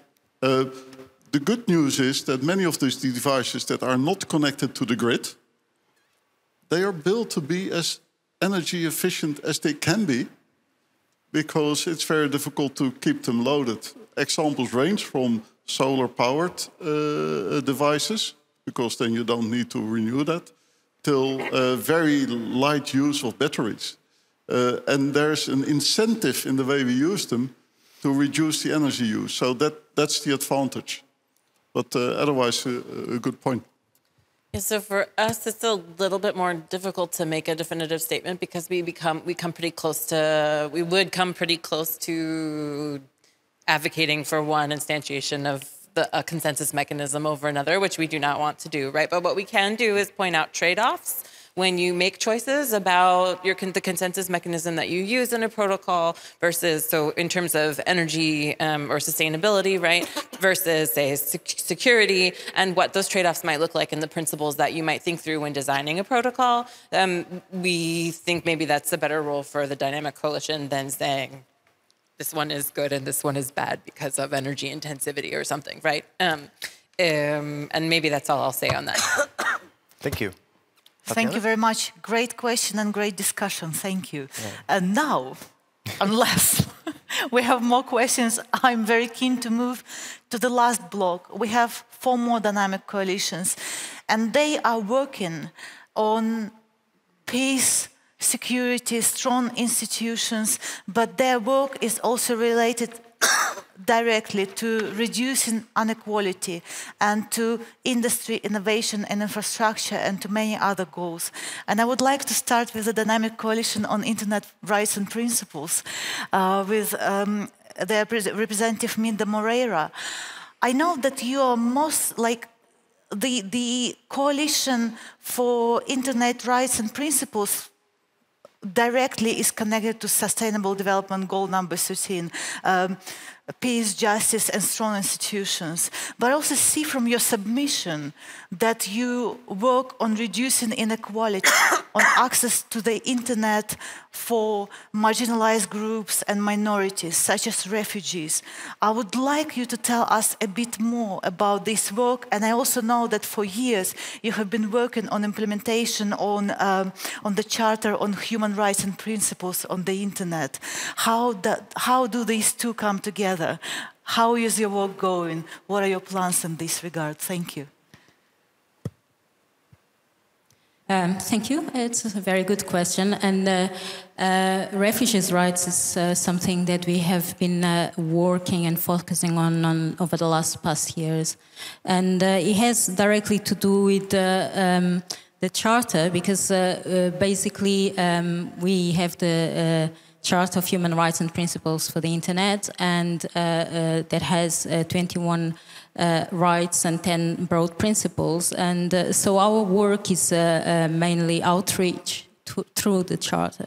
So uh, what we did is to look at the, those rights and to see uh, which groups need to have their human rights protected in the online environment, and the refugees and migrants were one of those groups. So we looked firstly on the, the right to access the internet, and that was uh, one of the things that we notice is uh, when we come to uh, um, refugees, not this uh, simple right to access is not as black and white as it seems. So not everyone uh, who has, is a refugee has the uh, right to access. And if they are in detention centers, they might be very monitored and uh, the access that they have is very reduced indeed. Uh, uh, we also talked about other groups uh, for instance, the homeless uh, people, like for instance in UK, that if you don't have uh, an address, it is very difficult to then get online um, on a library, on anywhere. So uh, the right to access was a, uh, something that was definitely to look into. But then we went to also the right of non-discrimination and internet access, use and governance, uh, directly linked to these uh, minority groups. Uh, the right to privacy uh, on the internet and the right to digital data protection. So all these are rights that we have inside the charter. And uh, for instance, in the case of uh, uh, refugees, we thought that it was really important to address the right to privacy, uh, to sorry, to privacy on, on the internet because uh, this was not happening. Uh, in detention centers, or even uh, when they have to ha have their basic access, um, basic needs um, to access the internet, to deal with their families, to look for information, uh, even to keep safe. Uh, and, uh, and so we thought that it was really important to look into that and to, the right to digital uh, data protection. So last year we focused on the uh, refugees and also uh, uh, Uh, uh, artificial intelligence, emerging technologies, blockchain technologies. Uh, and one of uh, the concerns was the use of emerging technologies or artificial intelligence in refugee camps, sometimes as an experiment. And our question is who is accountable? Where does the data go? Uh, where is the right, uh, the rights of these refugees being protected? Uh, is there any transparency? Is there any groups working together, uh, governments, uh, civil society, uh, the refugees themselves? Uh, and so these were all very important questions that we, we wanted to address through the Charter and the, the, the, work that we have been doing. Um, yeah, I hope I responded. Thank you so much for showing us yet another angle of connecting the unconnected in a way of, of, of, inclusion of those who are excluded for now, but another angle, not from the technical point of view, but from the point of view of human rights. And I will of human rights, but also especially as it relates to accountability. Of accountability with these massive data sets that we are generating, that are being generated in the digital age. And with that, I think it's a really good segue actually into this idea of responsibility. And so I want to I want to go over to Nicola uh, Nicolo um, Zingales now, and I want to I want to bring you into this to talk a little bit about more about what we've all been hearing on the agenda lately as it relates to platform responsibility. We see these, we, we hear some variation of this in one way or another, uh, you know, coming up on the agenda, but mostly um, it's in a worrying way. It tends to focus on content regulation, it tends to um, focus on restrictions, and it doesn't often include, for instance, market failure. And so I really want you to address something, at least from the point of view of the work that you've been doing over the past year and um, over the past five years. Congratulations on celebrating your fifth year anniversary at the IGF. And um, what is your work focusing on now? And you know, how has it evolved over those years? Especially seeing that you explore this issue from the perspective of collective governance. And kind of what, how does that contribute to achieving the SDGs?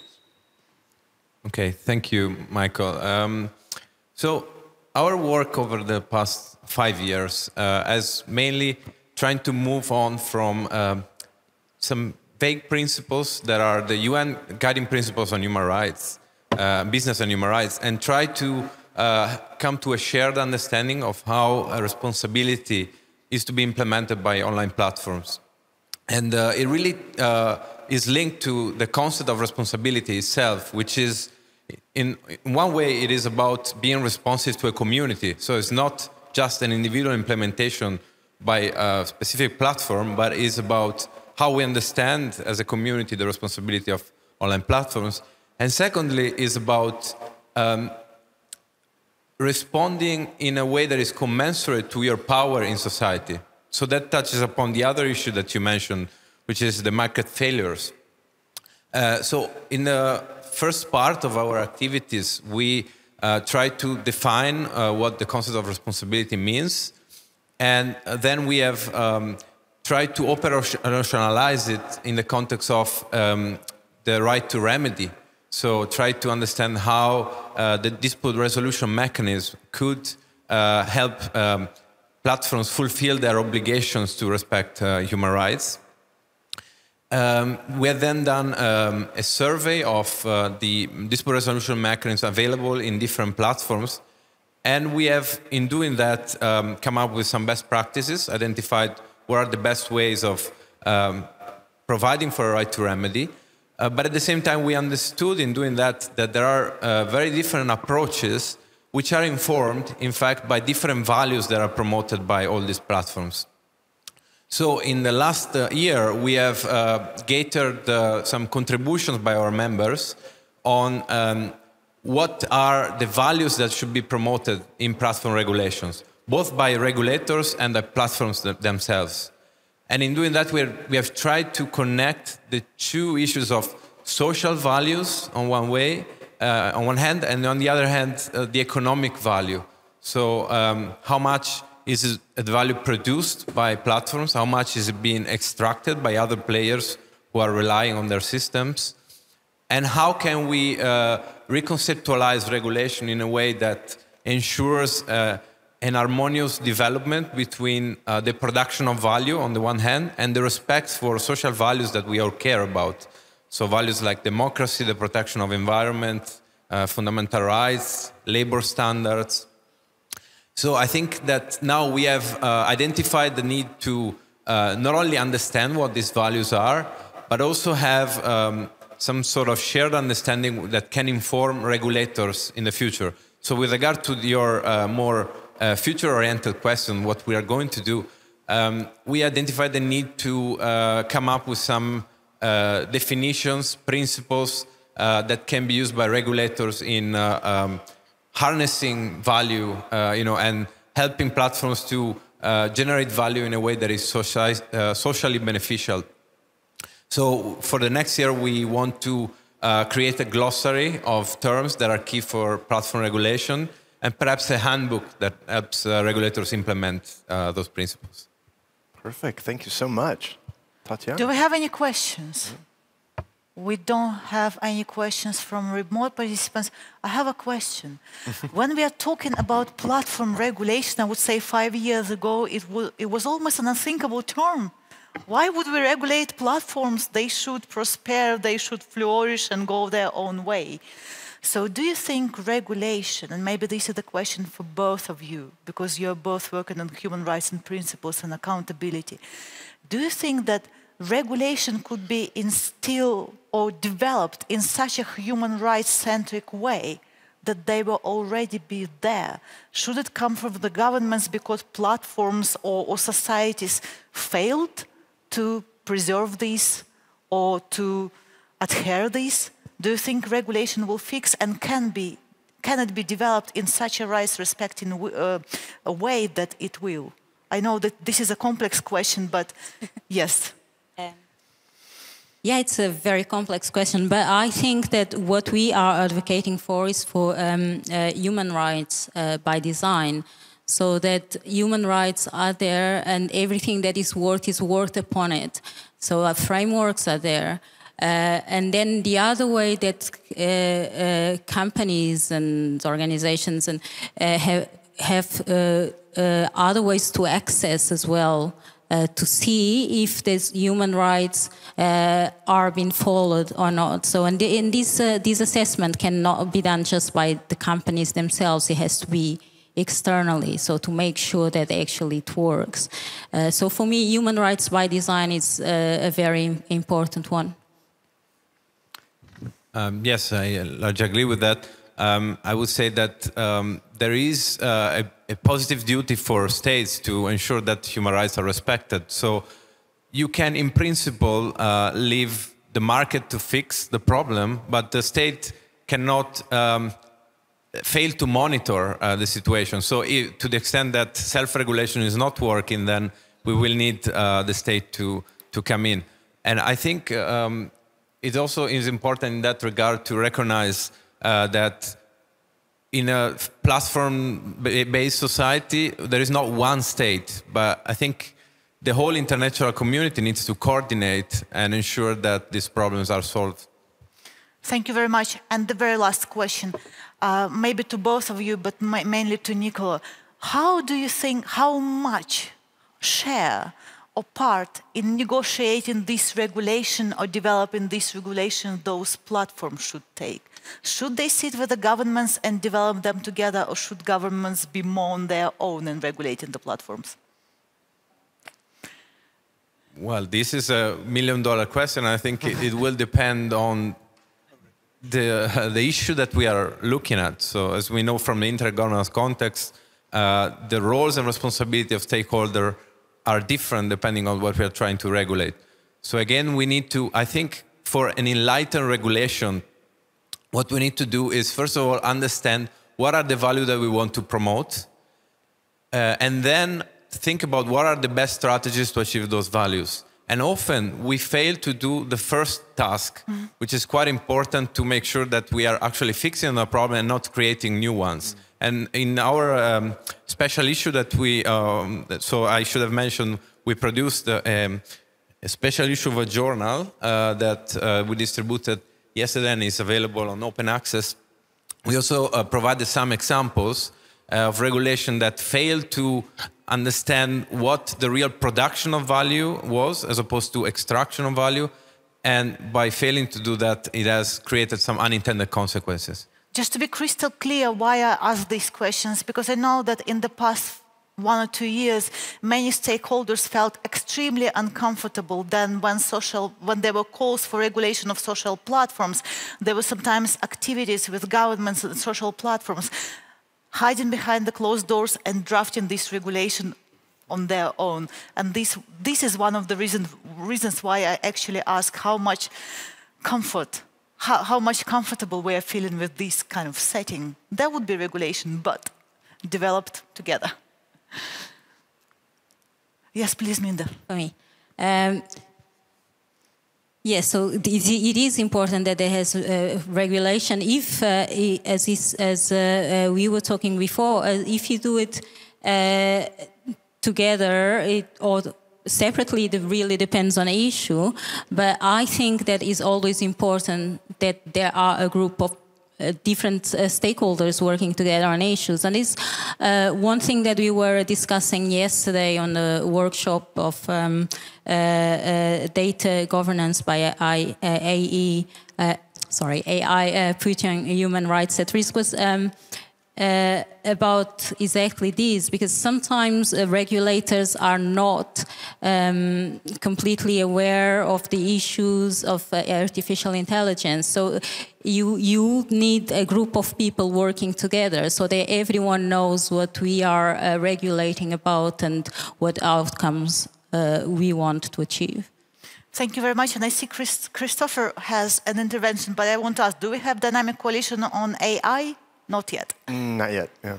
So I love the question, and we're fortunate to have it because one of the world's experts on this approach called co-regulation is with us, which is Chris Marsden. I know and, I uh, cited uh, him yeah. in many of my articles, basically in every. And you're getting times. at you know what is a, a very co a, a controversial question in the academic literature, which is the entire IGF is based on a multi-stakeholder approach, which means engaging everybody in the belief that will improve outcomes. And there is a wide range of regulatory techniques where it's not just the government acting unilaterally, but you engage and work together.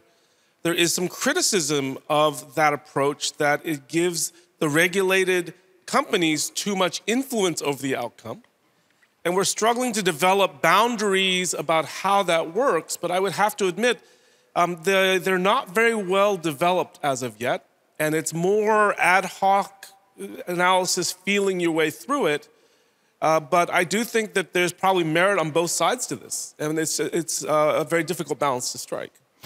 I want to jump in here real quick just because we're talking about platforms. And, and I want to kind of address a somewhat uh, uncomfortable question is probably controversial. Maybe I shouldn't even be asking this, but it, I feel like it's something that we need to raise. Because to me, the elephant in the room when it comes to platform responsibility is the business model. I'm sorry, but the fact is, I mean, it's, the, the paradigm of surveillance capitalism has been shown time and time again that that is what we're dealing with. And so when it comes to platform responsibility, how are we supposed to hold you know, companies responsible when their business model directly undermines, potentially, anyways, if I'm trying to be more diplomatic, this, uh, this entire endeavor. And I open that to anyone, especially you, Nico, or anyone else who can address this. And I'm sorry again. Sorry, not sorry. Well, uh, I would say change the business model if it's not uh, compatible with the law. I mean, I, of course, there are different ways of fitting into this surveillance, capitalism definition. So there is a way to collect data and use data that, that is compatible with data protection law. So the fact that you have uh, two masters, so users on one hand and advertisers on the other, does not mean that you maximize the collection of personal data, that you optimize for uh, forcing the user to spend as much time as possible on the platform to collect data. You can do that in a responsible way, uh, which is what our uh, SDG was, so responsible uh, production and consumption. I think there's uh, multiple ways, and the fact that um, we don't have a definition of what uh, value means in a platform-based society is precisely what creates a, a, a, very wide range of um, opportunities to escape the responsible uh, uh, way of implementing this business. So if, if you can define clearly what value is and how it should be implemented, then we won't, won't have you know, all the excesses that we are uh, witnessing and that were criticized as part of that book. John? Uh, if I may, I was waiting for, for my turn to, to give my intervention. But we know what the value is in a platform society it's uh, an advertising value, and that's the only recognized incentive that platforms have at the moment. And in the programmatic advertising world, that means one second view of an ad on online. And so what happens is that the whole uh, architecture of the platforms is optimized for that advertising economy of scale, which, as I will say in my intervention later, has led us to the whole black market of troll factories, content farms, and uh, uh, clicks, shares, and followers, which are now dictating our elections. And so one of our members uh, Organized Crime and Corruption Reporting Project has published uh, just yesterday an article about another troll farm in Ukraine that has worked with almost all uh, layers of politicians during the elections. And if you look at Google troll farms, India, um, Serbia, other countries, you will see that this is becoming one of the very profitable businesses for developing countries. And I will, I can give you some numbers, but I'm not going to to take um, more of your time. And if I may, um, can I introduce you Mira Milosevic, representative of Dynamic Coalition of Sustainability of Journal Journalism and New Media. We will come to this coalition a bit later. I see that we have three more interventions. Please keep them as brief as possible, and then we will move to the last two Dynamic Coalitions. Thank you. I want to respond very quickly to what you said. I entirely share your concerns and I, I see why you're mentioning that. And I don't disagree that uh, advertising and uh, the advertising model is one type of value that is being promoted by the platforms, but I don't think it is the only value, at least when you look at you know, their terms and conditions, their marketing material, you know, their statements, uh, they certainly recognize other values. The problem is we don't know how those values are balanced And there should be more transparency, more accountability in uh, that kind of operation, that kind of balancing exercise. Three more interventions, starting with Christopher. Very quickly, I want to, Nico, I re- and you know, I really commend you for the balanced approach to try to make this work. Um, there is actually work I've done. If you, there is an old economics of advertising, mostly from broadcast television, which has largely been lost in the internet debates, which is very influential, that shows the flaws. Uh, but on the other hand, there's the missing thing, which is consumer interests strongly favor advertising support. And this is the, the hard part of balancing. We could turn to a different business model, and there's some very good economic arguments for doing it, but consumers largely reject that. And they like a hybrid option of different things. And it's quite difficult to find that balance, particularly because it's not a uniform balance what you care about for your healthcare information or your elections is different, or your financial information is different. What you care about, your travel recommendations. Sure. And so finding a unified approach is going to actually require a great deal of, of detailed work. Thank you. Thank you very much. So if you think of platforms like YouTube Kids, I mean, business model is to turn the kids into video consumers and advertisements. So the algorithm is, is being fed by that and, and influenced and, and, and there's no, um, the approach should be the educational value. Uh, if you think in terms of protection of children, it should be the educational value uh, of, the, of the content that they are looking at. Know, you know, how much this will turn them into uh, video consumers. Thank you very much, Minda. Did you have also an intervention? Uh, not specifically for this, so I, I will let the, the other coalition speak and then we'll come, come back. Thank, Thank you. you. very much. Oh, you do.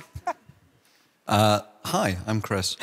Uh, it's really important, I think, to, to think about the way in which uh, platforms operate in these areas, and I think that it is worth just flagging up. Tomorrow morning, 9.30, Raum 1, Raum 1. Uh, there's a discussion about the way in which platforms have influenced elections in Brazil, the United States, and the Brexit referendum in the UK, organised by a Brazilian steering group uh, I would urge people to come along tomorrow morning, 9.30. Thank, Thank you, you very much. And I'm very happy that the two last but not least dynamic coalitions do not need much introductions anymore, at least in terms of who the speakers are, who the representatives are. So I want to move to the dynamic coalition on sustainability of journalism and news media and um, Mira Milosevic. I know that you're, I think that you're the newest dynamic coalition here, but I see that you're doing a lot already, a lot of work on access to information as one of the um, as one of the goals for sustainable development goals, peace, justice, and strong institutions. And as you're the newest one, what has been achieved so far? What, which work have you done, and what are your plans for the future? Well, it's uh, uh, good afternoon, everyone, and um, apologies for my passionate intervention. Uh, thank you for being here. It's very difficult for us to talk about what we've achieved uh, since uh, we have formally been launched yesterday. However, Congratulations.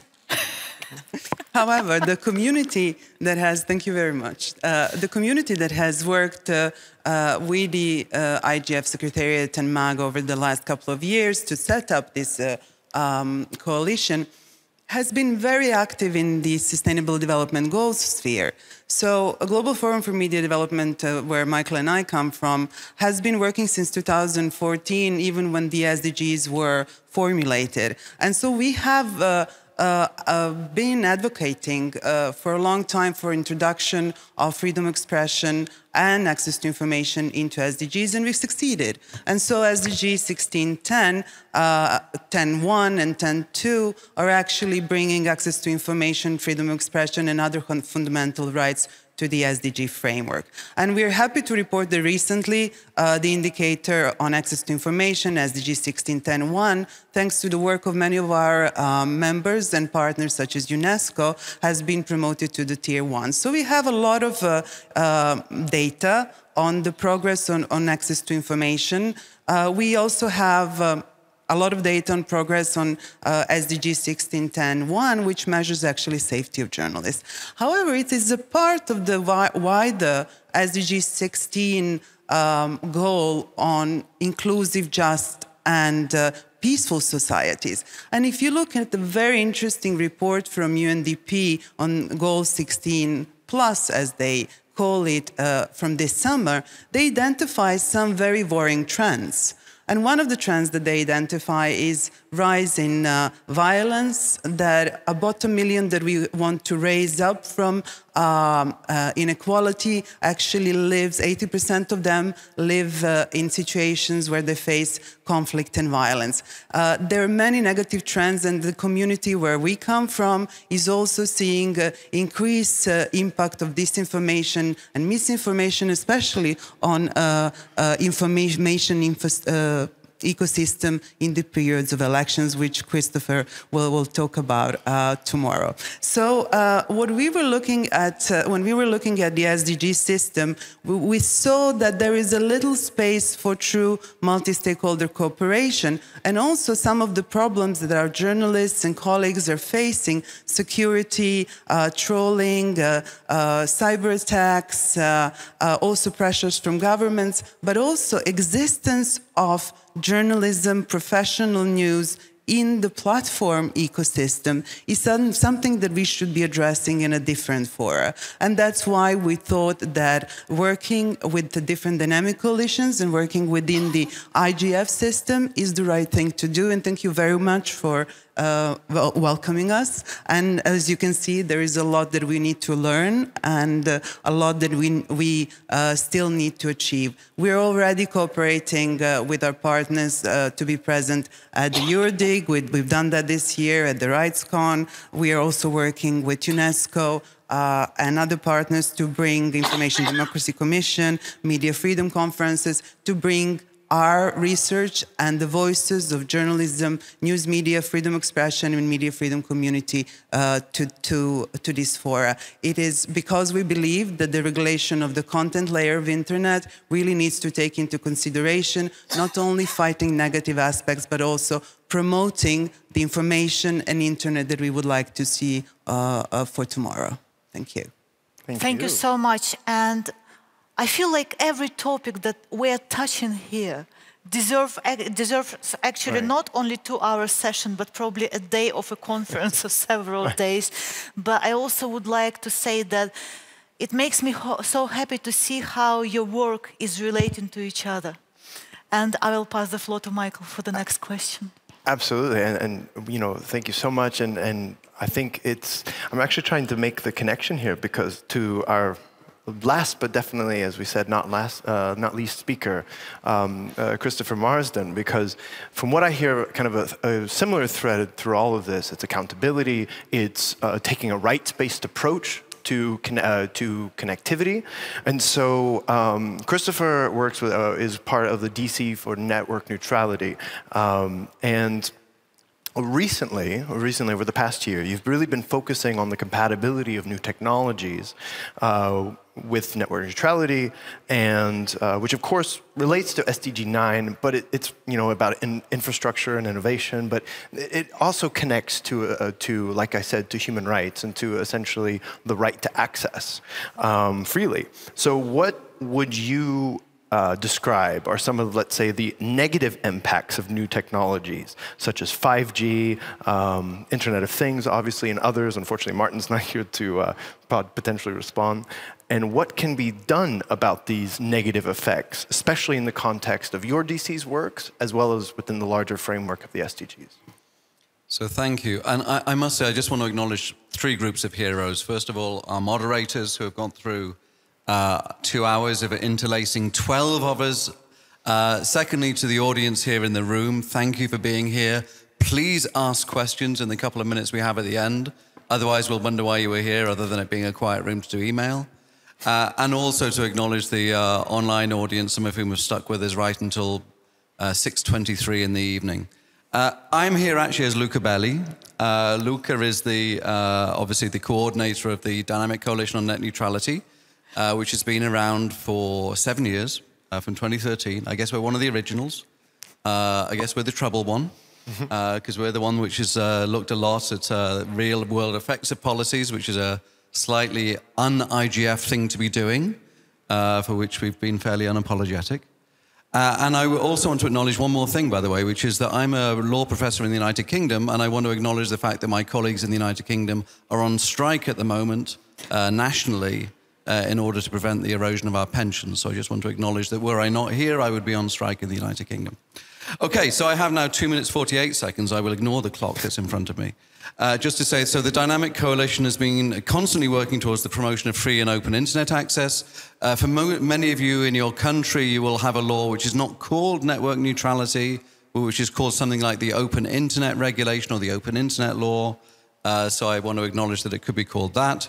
Um, and we've been developing research and policy proposals since 2013. As I say, Luca is the driving force we are uh, following on behind. We need to clone Luca because he does so much at IGF and other places around the world. Uh, and most notably, we've uh, been working with the model framework on net neutrality, which the Dynamic Coalition worked towards, and which has directly inspired the Council of Europe recommendation on net neutrality. So that was one of the early successes, which apparently became controversial, of the uh, Dynamic Coalition. Uh, in 2019, uh, as Michael said, we're working now on looking at the uh, compatibility or otherwise, uh, we don't want to prejudge, uh, between net neutrality principle and development and internet access technologies and business models like 5G, like what's erroneously called the fourth industrial revolution, which is really the fifth, and also the Internet of Things. One thing that we produced as an outcome from this year is the is a map of zero rating around the world. So if you go to zerorating.info, you will be able to get access to that map. It shows you where uh, subsidized offers are available. Um, if you go to net neutrality, uh, sorry, network neutrality, the full uh, title, .info, you will see our previous outputs. And I will say the outputs for the first three years, uh, Luca was working with uh, Primavera, uh, and we produced these prodigious outputs, you know, four books in the first three years, which is pretty extraordinary, with forewords by uh, people like uh, Vint Cerf and Tim Wu, Marietje Schaake, uh, contributions from Louis Pouzin. You know, there are many fathers of the internet. Uh, they do not include Tim Berners-Lee, he's a father of the web, but they do include Louis Pouzin as well as Vint and others. Uh, so we've been producing a, a huge amount of work, uh, and I just really want to acknowledge the contribution of, of, of everybody who's, who's been helping us along the way um, uh, including, of course, we've looked at the work of Christopher. We need to acknowledge each other. He mentions me on co-regulation. I want to mention his work on net neutrality and the regulations that may have uh, perverse consequences as well as those that might be helpful. Um, I also want to acknowledge what I think is the real elephant in the room. So, Michael, you, you kindly mentioned uh, surveillance capitalism. And I just want to say that we have a lack of engagement uh, from industry. And we would want more and more engagement from industry it may, you know, people might say, well, it's your fault. You're the dynamic coalition on net neutrality. You're going to annoy the telecom companies because you're talking about regulating what they do in a very light touch way, frankly. But we want more engagement with industry.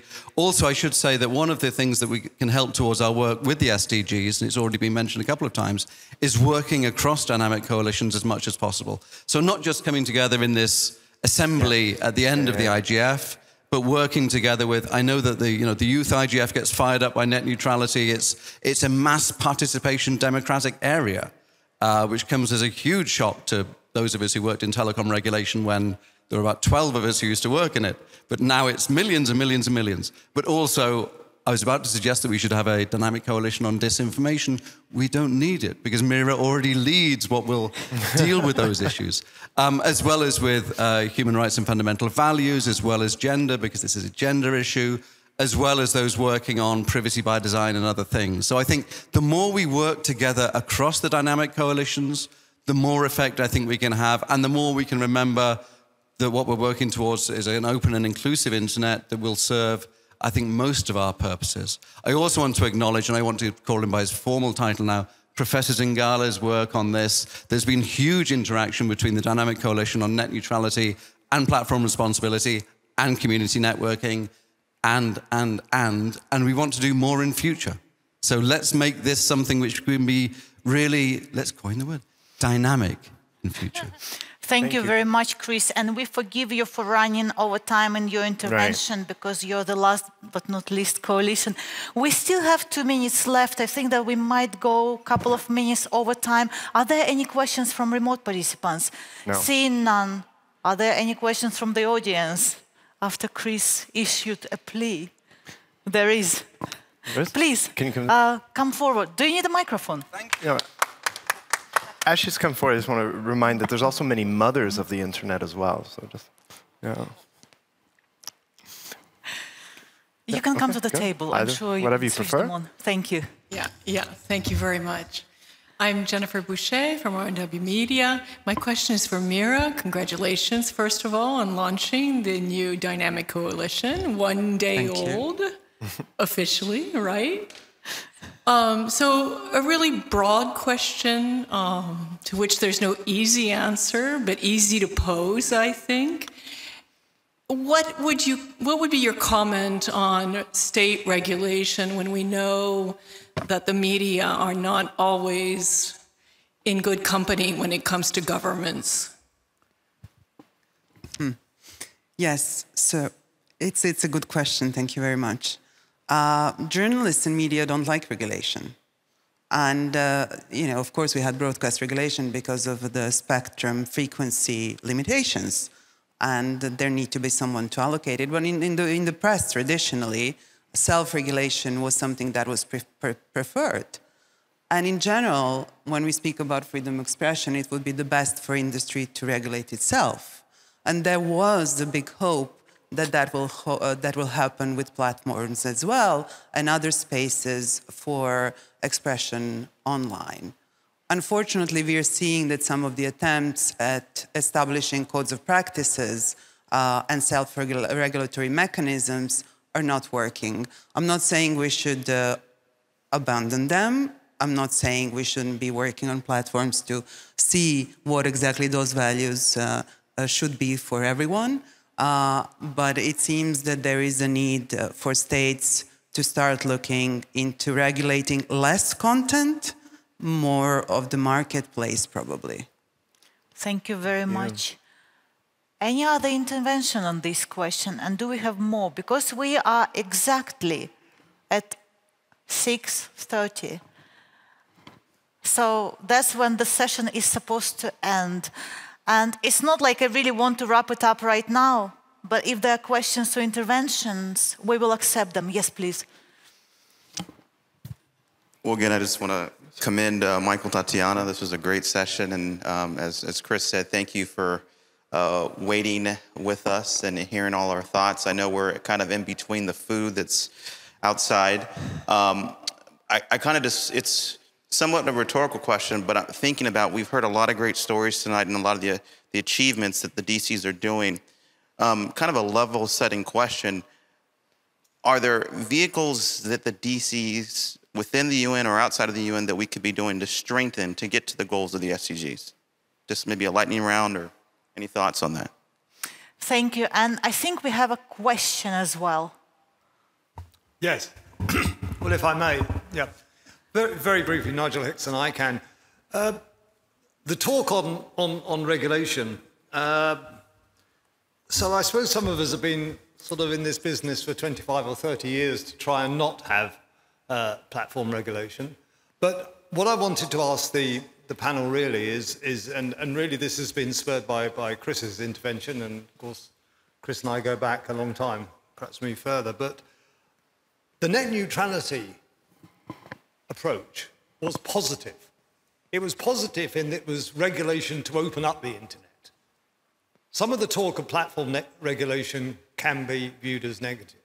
Should we not be looking at some holistic, positive regulation that enshrines the openness and the singularity of the internet and at the same time does something about competition? Thank you. Great question. And a question I noted at 6.32, so I'm not sure how much we can answer it. Um, so yes, it, it's, it's very true that obviously those who have been working in this area a long time are very aware of the historical precedents for the things that we're trying to do. I, I think that one of the things about the what's actually come out of the net neutrality debate is that it's, it's effectively pretty light touch regulation saying to, uh, to telcos, don't be evil. You know, don't block apps, don't do things which are obviously harmful. I mean, frankly, I think there's very little more that can be done in terms of net neutrality regulation anyway, because of the, the huge information imbalance in terms of trying to achieve transparency in the area. So I think it was something that was a uh, seen as a giant problem, and I think is now probably seen as something which is um, which can be regulated with a fairly light touch. In terms of the platforms, do come to the session tomorrow morning at 9.30. The things you will hear, well, they won't surprise Nigel, but they will um, probably illuminate some of the problems we have with platforms. I, I will just say one thing, which, which I, I, mentioned in the Dynamic Coalition on, on platform responsibility, which is that electoral law is so inadequate in so many countries. I've been doing work for the European Parliament and for the Commonwealth, so in uh, Asia Pacific and in Africa and the Caribbean. It is shocking the degree to which we are unable to regulate, particularly election periods. Uh, and I think this is something which our political lords and masters and mistresses will be incredibly closely focused on because it's their jobs, right? If elections go wrong, that's how they get re-elected. Uh, and I will also say that on that, there's a specific problem, which is that we often talk in the IGF about the lack of technical ability. This is one area where actually politicians are very strongly motivated to understand what's going on. Um, but I would just say that the laws around disinformation online that are made are made after elections by the winners. So they're not always quite as rounded as we might hope that they are. But as I say, more tomorrow morning, 9.30 uh, in the workshop. Uh, thank you very much. And unless there is any pressing need for intervention, yes, uh, Minda, you can go. And Mira, okay, two more, and then we will need to wrap it up. Thank you. Uh, so uh, one uh, question that is not a question, but maybe is a call for action, is that I thought that uh, uh, Uh, another uh, sustainable development goal would be addressed uh, in the session uh, that is SDG 13, climate action. It was not but I think it's a very important one, and I think all the dynamic coalitions uh, should work together on this uh, that is a climate emergency, climate crisis. So climate uh, uh, action is a very, very important one.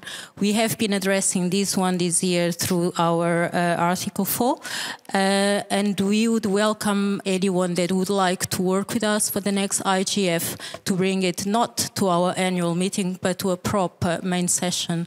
So um, if you would like to come and talk to me and talk to any one of our um, coalition, we would very much welcome this discussion for the next year or the next uh, uh, national IGF uh, too. So uh, it's really important. Young people are very dynamic on this. Uh, they, that's one of the things that they want to see the, uh, the IGF community to address. And unfortunately, we are not talking about that enough. Thank we, you.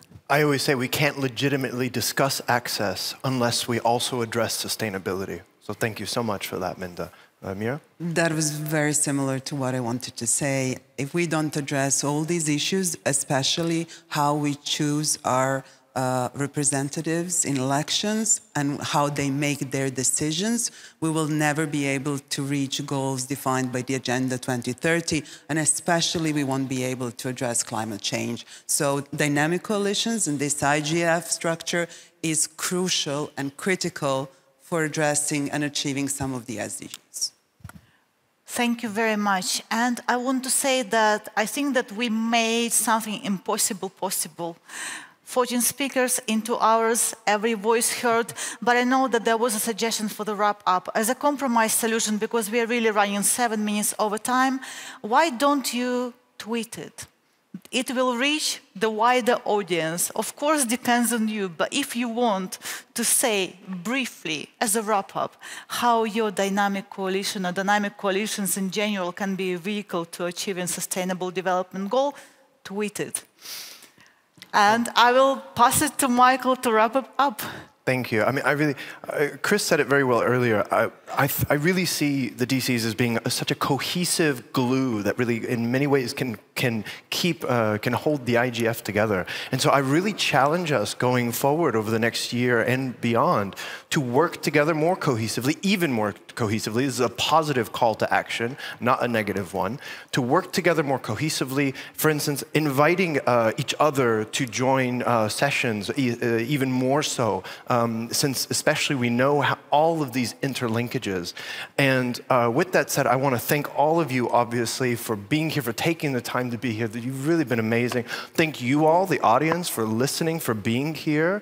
Um, I also just want to quickly um, thank uh, Jutta and Markus, who are both uh, who are the um, DC coordination group, um, kind of. Uh, they, are the ones that herd these cats together and make sure that we're all on time and do everything right. So thank you, and Markus. Thanks, Lima and Eleonora from the at the Secretariat, who put in so many countless hours to making sure that we can operate as we do. Of course, um, and then lastly, thank you to the staff here um, at the Estrel Center for, you know, especially dealing with us going over time and for being making this happen. And as always, thank you very much to our captioner, who is, you know, a faceless person who um, makes it. And if you please could, captioner, please just um, write your name just so we know to thank you correctly, properly, not just a random person on the other side of the world. Thank you so Heidi much, Thomas, Heidi. thank you so oh, much. Thank you so much. Thank you, Heidi. So, but that's it. Thank you to Tatiana. Uh, she's really done so much of the, of the work getting this together as well. And so, with that, I'll hand it back to you. No, first, let me thank you as well, because you're the last but not least person to thank in this wrap up. Please give the panel a big round of applause and thank you. See you next year.